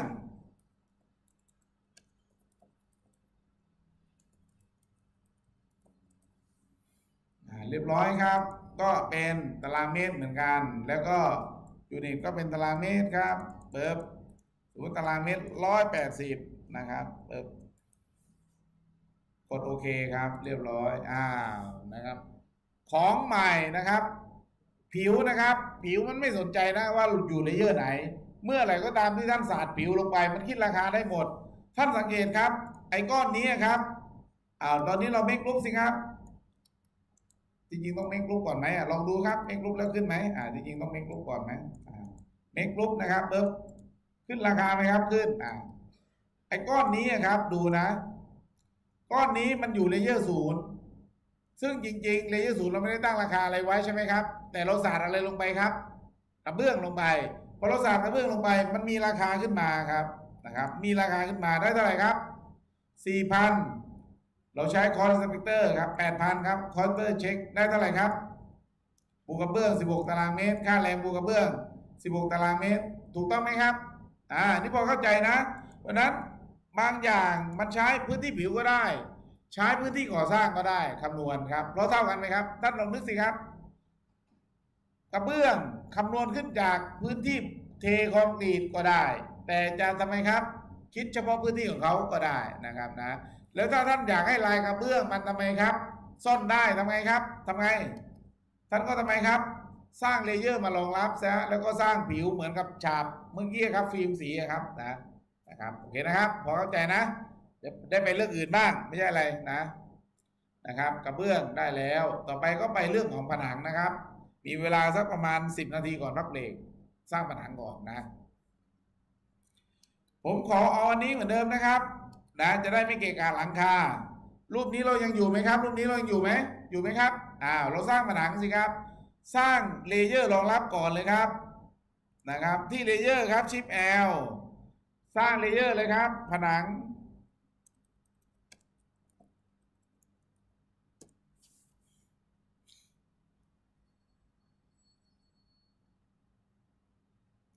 สร้าง layer ผนังครับอ้าวเรียบร้อย สร้าง layer ผนังนะเอาต่อไปครับ ขยับเมาส์ขึ้นด้านบนหน่อยครับ ผมจะพาท่านเรียก layer ผนังมาขยับไม่ใช่เรียก layer ผนังขยับเมาส์ขึ้นด้านบนที่ขวา ของใครไม่มียกมือนะครับหนึ่งพันหนึ่ง bit tool มีแล้วคลิกเลยครับใครไม่มีมีไหมครับ มีทุกคนนะทวนอีกรอบขยับเมาส์ขึ้นด้านบนครับเมาส์เป็นสีขาว คลิกขวา ด้านบนก็คือราวางที่ตำแหน่งของอะไรครับ แถบเครื่องมือนั่นเองนะครับ แล้วก็คลิก ที่หนึ่งพันหนึ่งบิตทูนครับ มีเครื่องมือชุดนี้ขึ้นมา ของบางท่านก็จะไหมครับ อาจจะยาวเฟื้อยเลยไปข้างหลัง ยาวเฟื้อยไม่ว่าครับ ล้นจอต่างหากมีไหมครับอ่าถ้าถ้ามันล้นจอก็ลากไข่ปลาออกมาครับนะลากไข่ปลาให้มันวางแบบนี้ก็ได้นะครับ เพื่อเราจะได้ทำไมครับหลังนั้นผมปิดเลเยอร์ก่อนนะ ปิดข้างๆนะครับเพราะผมไม่อยากให้มันไม่อยากให้มันล้นอะ เดี๋ยวเราจะสร้างผนังครับ แต่เราใช้ตัวของโปรแกรมเสริมอีกตัวหนึ่งนะครับ สร้างโปรแกรมเสริมตัวนี้ชื่อว่า 1,001 บิตทูล1,001 bit tool มีทั้งเวอร์ชันฟรีแล้วก็เวอร์ชันเสียตังค์นะครับ เวอร์ชันเสียตังค์ประมาณ 2,000 เวอร์ชันฟรีก็ตามที่เราเห็นใช้ฟรี แต่ก็คุณสมบัติก็สู้เสียตังค์ไม่ได้นะครับ เดี๋ยวผนังเลยใช้คำสั่งนี้ครับ เห็นไหมครับ มองเห็นไหม vertical wall คำสั่งนี้ครับ แล้วใกล้ๆ vertical wall ก็คือ opening on wall นะครับ opening on vertical wall นะครับเพราะฉะนั้นเราใช้สองคำสั่งนี้ครับลองคลิกดูหน้าตามซะก่อนสิครับ คลิกไปที่ vertical wall สิครับ คลิกดูหน้าตานี่คือตัวคำสั่งของมัน หน้าต่างคำสั่งมันครับ vertical wall ส่วน opening นะครับก็คือการเจาะช่องหน้าต่างนั่นเองช่องประตูเจาะช่องประตูนั่นเอง ทั้งเจาะหน้าต่างทั้งเจาะประตูก็เป็นตัวนี้ครับ เป็นตัวนี้ตัวเดียวกันนะครับอ่าเรียบร้อยนะครับเรารู้แล้วว่า เดี๋ยวเราใช้สองตัวนี้ ปิดไปเลยครับหนึ่งพันหนึ่ง bit tool ปิดไปเลย รู้ว่าจะใช้แล้วเดี๋ยวตั้งคำสั่งย่อกันครับ ตั้งคำสั่งย่อเรียกมันนะครับไปที่ Windows ครับ ไปที่ Windows แล้วไปที่ Preference Windows แล้วก็ไปที่ Preference แล้วที่ shortcut ครับ ช่วยเสิร์ชคำว่า wall ครับ W A W L เพราะนั้นถ้าโปรแกรมสเกนับของท่านไม่มี1,001บิตทูลติดตั้งอยู่มันจะเจอคำสั่ง wall ไหมครับ เจอไหม ไม่เจอนะ เพราะนั้นต้องเป็นมี1,001บิตทูลติดตั้งอยู่นะครับ แล้วเจอไหมครับ wall vertical wall เจอไหมครับ อยู่ล่างสุดนะอ่าทวนอีกรอบนะ ไปที่ Windows แล้วไปที่ Preference นะครับ แล้วที่ shortcut ครับ ใช้คำสั่งช่อง filter search คำว่า wall นะครับ ผนัง ที่ล่างสุดครับ extension 1,001 bit tool นะครับ แล้วก็ slash vertical wall ให้ท่านใส่ W เข้าไปครับ แล้วกดบวก ส่วนคำสั่งกลางนะครับ opening on wall ให้ใส่ shift W ครับ แล้วกดบวก ล่างสุด vertical wall ใส่ W opening on wall ใส่อะไรครับ shift W เราจะใช้มันคู่กัน สร้างผนังแล้วเจาะผนัง สร้างผนังแล้วเจาะผนัง สร้างผนังแล้วเจาะผนังนะ โอเคนะครับ หลังจากนั้นครับ กดปุ่มโอเค เรียบร้อย แล้วพอออกมาครับ รีเช็คสิครับ ขอสเปซบาร์แล้วรีเช็คโดยการกด W ขึ้นไหมครับ ขึ้นไหม กดชิป W สิครับ ขึ้นไหม ขึ้นตัวเดียวกันหรือว่าคนละตัวกด W ขึ้นอะไรครับคลิก vertical wall กดชิป W ขึ้นอะไรครับคลิก wall opening ต้องขึ้นคนละตัวกันนะ ไม่ใช่ไปขึ้นตัวเดียวกันนะอ่าโอเค เรียบร้อยครับ ทีนี้สมมุติว่าที่หน้าบ้าน ความสูงของผนังมันสูงกว่าข้างบ้านนะครับอ้าวเอาหน้าบ้านเอาหน้าบ้าน เอาหน้าบ้านครับ เพราะฉะนั้นเอาความสูงสูงสุดครับ เอาหน้าบ้าน หน้าบ้านสูงเท่าไหร่เช็คให้ผมสิครับ จากพื้นถึงยอดเสาเท่าไหร่ครับ ดูสิครับสมมติว่าเราไม่มีคานนะเราเราละไว้ พื้นถึงยอดเสาเท่าไหร่ครับ ใช้คำสั่งอะไรครับตลับเมตรดึงขึ้นไปสิพื้นถึงยอดเสาเท่าไหร่ครับสามจุดเท่าไหร่สามจุดเก้าเพราะเสาสูงสี่เมตรใช่ไหมครับ แล้วก็เป็นอะไรครับ เป็นพื้นแค่หนึ่งเมตรอ่าหนึ่งสิบเซน เพราะนั้นเราจะสร้างผนังสามจุดเก้าสูงสามจุดเก้านะนะครับ เราจะสร้างผนังสูงสามจุดเก้าแต่จริงๆสร้างไม่ถึงหรอกครับ ต้องมีอะไรครับ มีคานใช่ไหมแต่นี้สมมุติเราว่าจะสร้างเต็มนะ จะสร้างเต็มนะครับ อ้าว กด W ขึ้นมาครับ กด W ขึ้นมาพอท่านกด W ขึ้นมานะครับ อ้าวตามมาผมมาเลยครับ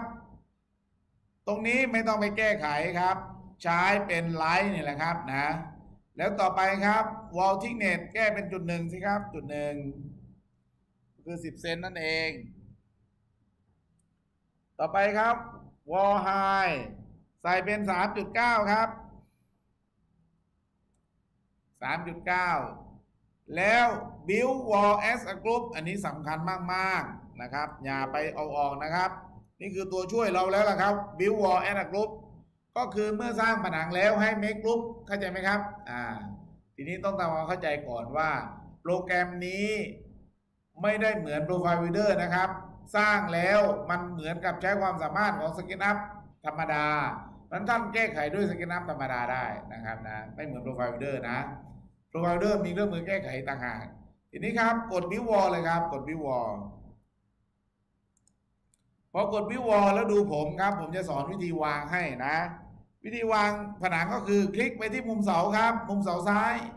แล้วก็ลากไปที่มุมเสาขวาครับ ลากไปปุ๊บแตะครับ แตะมันจะลงมันจะเหมือนเรารู้สึกได้ครับว่ามันลงล็อกนะ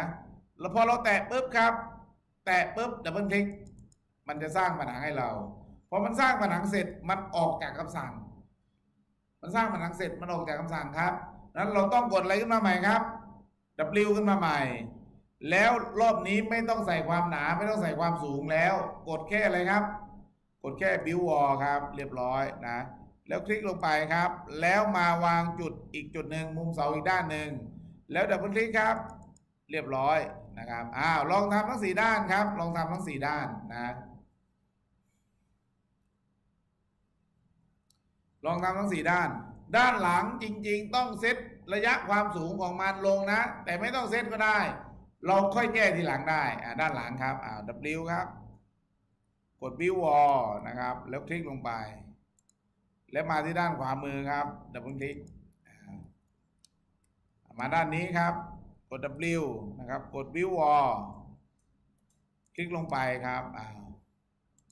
แล้วมาที่ขวามือครับ วางแล้ว double click เราก็ได้ผนังกี่ด้านครับสี่ด้านเรียบร้อยนะ แล้วเนื่องจากว่าผมบอกเลยว่า ไอ้ผนังเนี่ยครับ มันเปรียบเสมือนสร้างด้วย SketchUp ธรรมดา เพราะนั้นเราสามารถใช้ push pull หดได้ไหมครับหดได้ไหมได้ครับ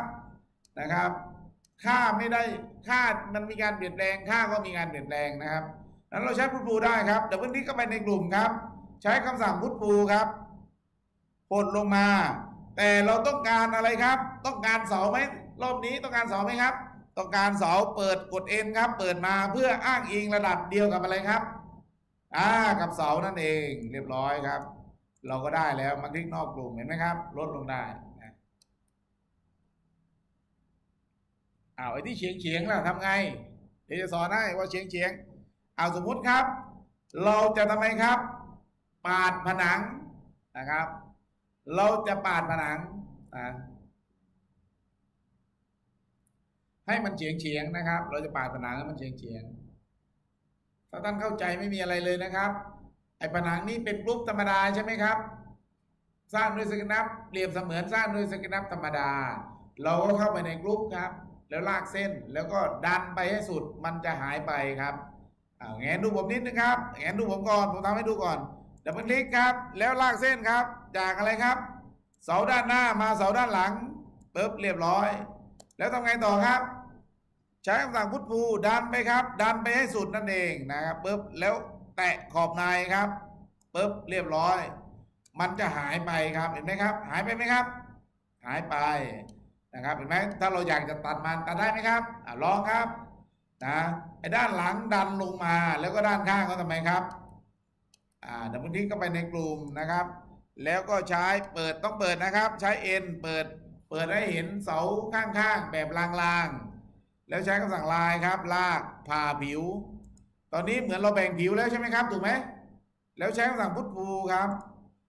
ดันไปดันไปให้สุดจนผนังด้านในครับ เรียบร้อย ผมก็เหมือนได้ทำไมครับ ได้ตัดผนังเรียบร้อยแล้วครับเห็นไหมอันนี้เป็นการแก้ไขชิ้นงานนะ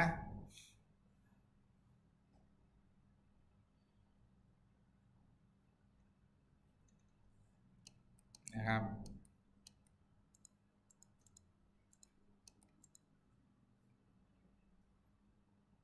ใครเสร็จแล้วก็ย้ายผนังครับทั้งสี่ด้าน ย้ายไปอยู่ layer อะไรครับ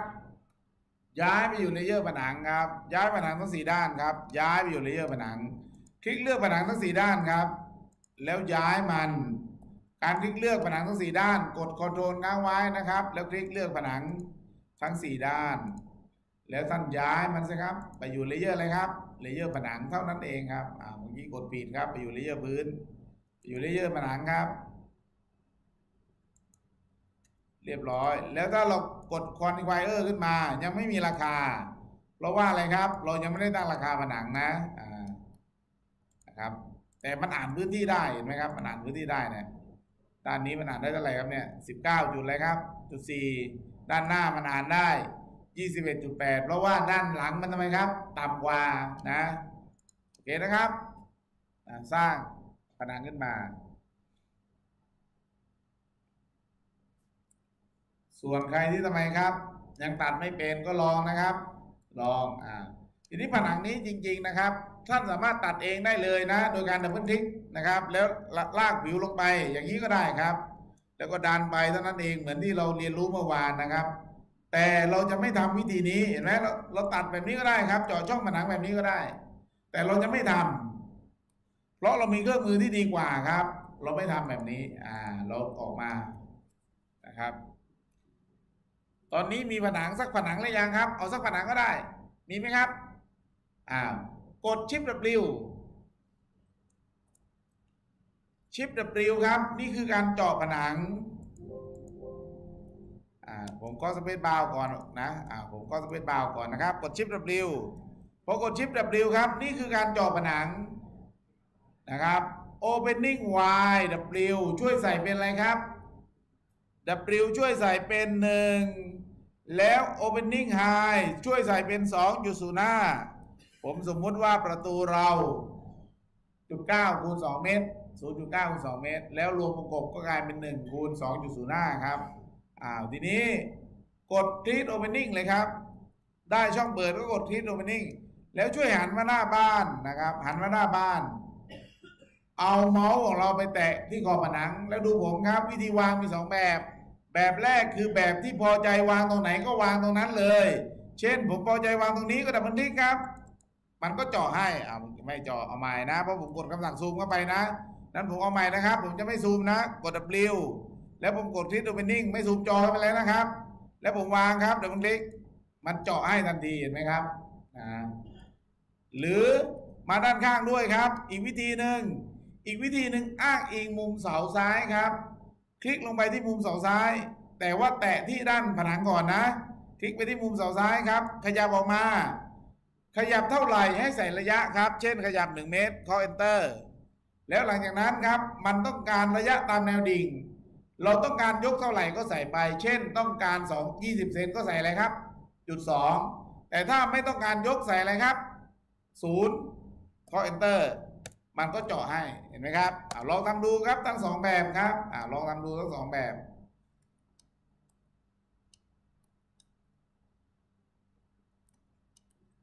เราก็เจาะผนังได้เรียบร้อยนะเจาะผนังเสร็จก็ลองเจาะหน้าต่างบ้างครับ ขนาดหน้าต่างสักสองคูณหนึ่งนะครับสองคูณหนึ่งนะครับเจาะหน้าต่างบ้างใช้คำสั่งเดียวกันครับชิป W แค่แก้ขนาดเท่านั้นเองนะครับ เอาใครเจาะผนังเสร็จเจาะหน้าต่างเสร็จก็เชิญไปพักเบรกก่อนนะครับอะ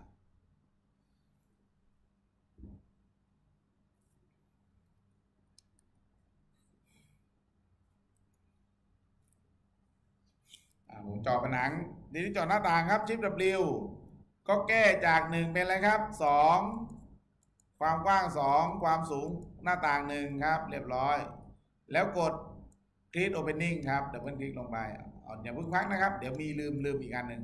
มีของเด็ดมีของเด็ดอ่า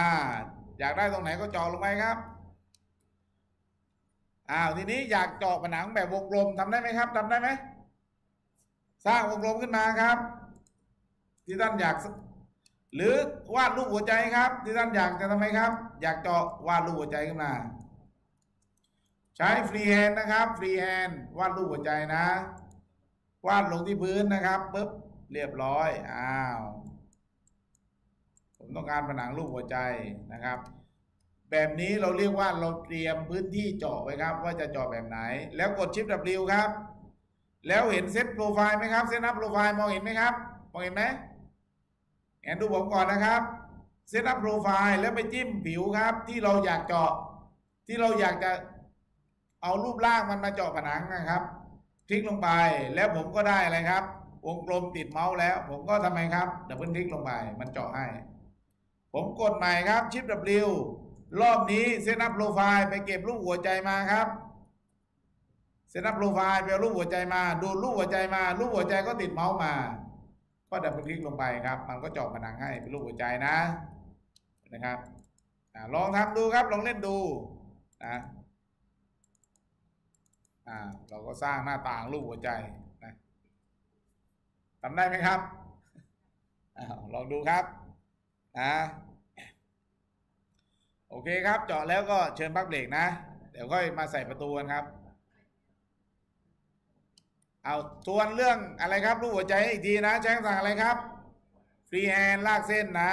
จริงๆ อยากลากรูปอะไรก็แล้วแต่ท่านนะ แต่ลากลงบนพื้นนะครับนะสมมติว่าไม่ใช่รูปหัวใจเป็นรูปอะไรดีครับไม่รู้เอารูปอะไรยิงยิงยือๆแล้วกันนะครับอ่าแล้วเป็นผิวเสร็จก็ทำไมครับ ลบเส้นออกซะนะครับ แล้วกดชิป W ครับ กด Set up Profile มาติ๊กที่ผิวครับปุ๊บผิวจะติดปลายเมาส์ออกมานะครับ เราก็มาเจาะได้ทันที double click ครับปุ๊บเอาเอาใหม่นะครับชิป W นะครับ Set up Profile ไปแตะผิว ผิวติดปลายเมาส์มาแล้วก็ double click ครับปุ๊บ double click อ้าวเจาะไม่ได้ สงสัยไปกดเมื่อกี้กด control ไหมครับ หรือไม่ก็ทำไมครับ มันซับซ้อนเกินกว่าที่มันจะเจาะได้อ่าเดี๋ยวขอเอาใหม่ Shift W นะครับ Set up แล้วก็มาเจาะสิครับได้ไหมแต่บางทีก็เจาะไม่ได้นะครับ รูปนี้ผมเจาะไม่ได้นะดังนั้นคงมีข้อจำกัดบ้างนะบางผิวมันก็เจาะไม่ได้นะครับ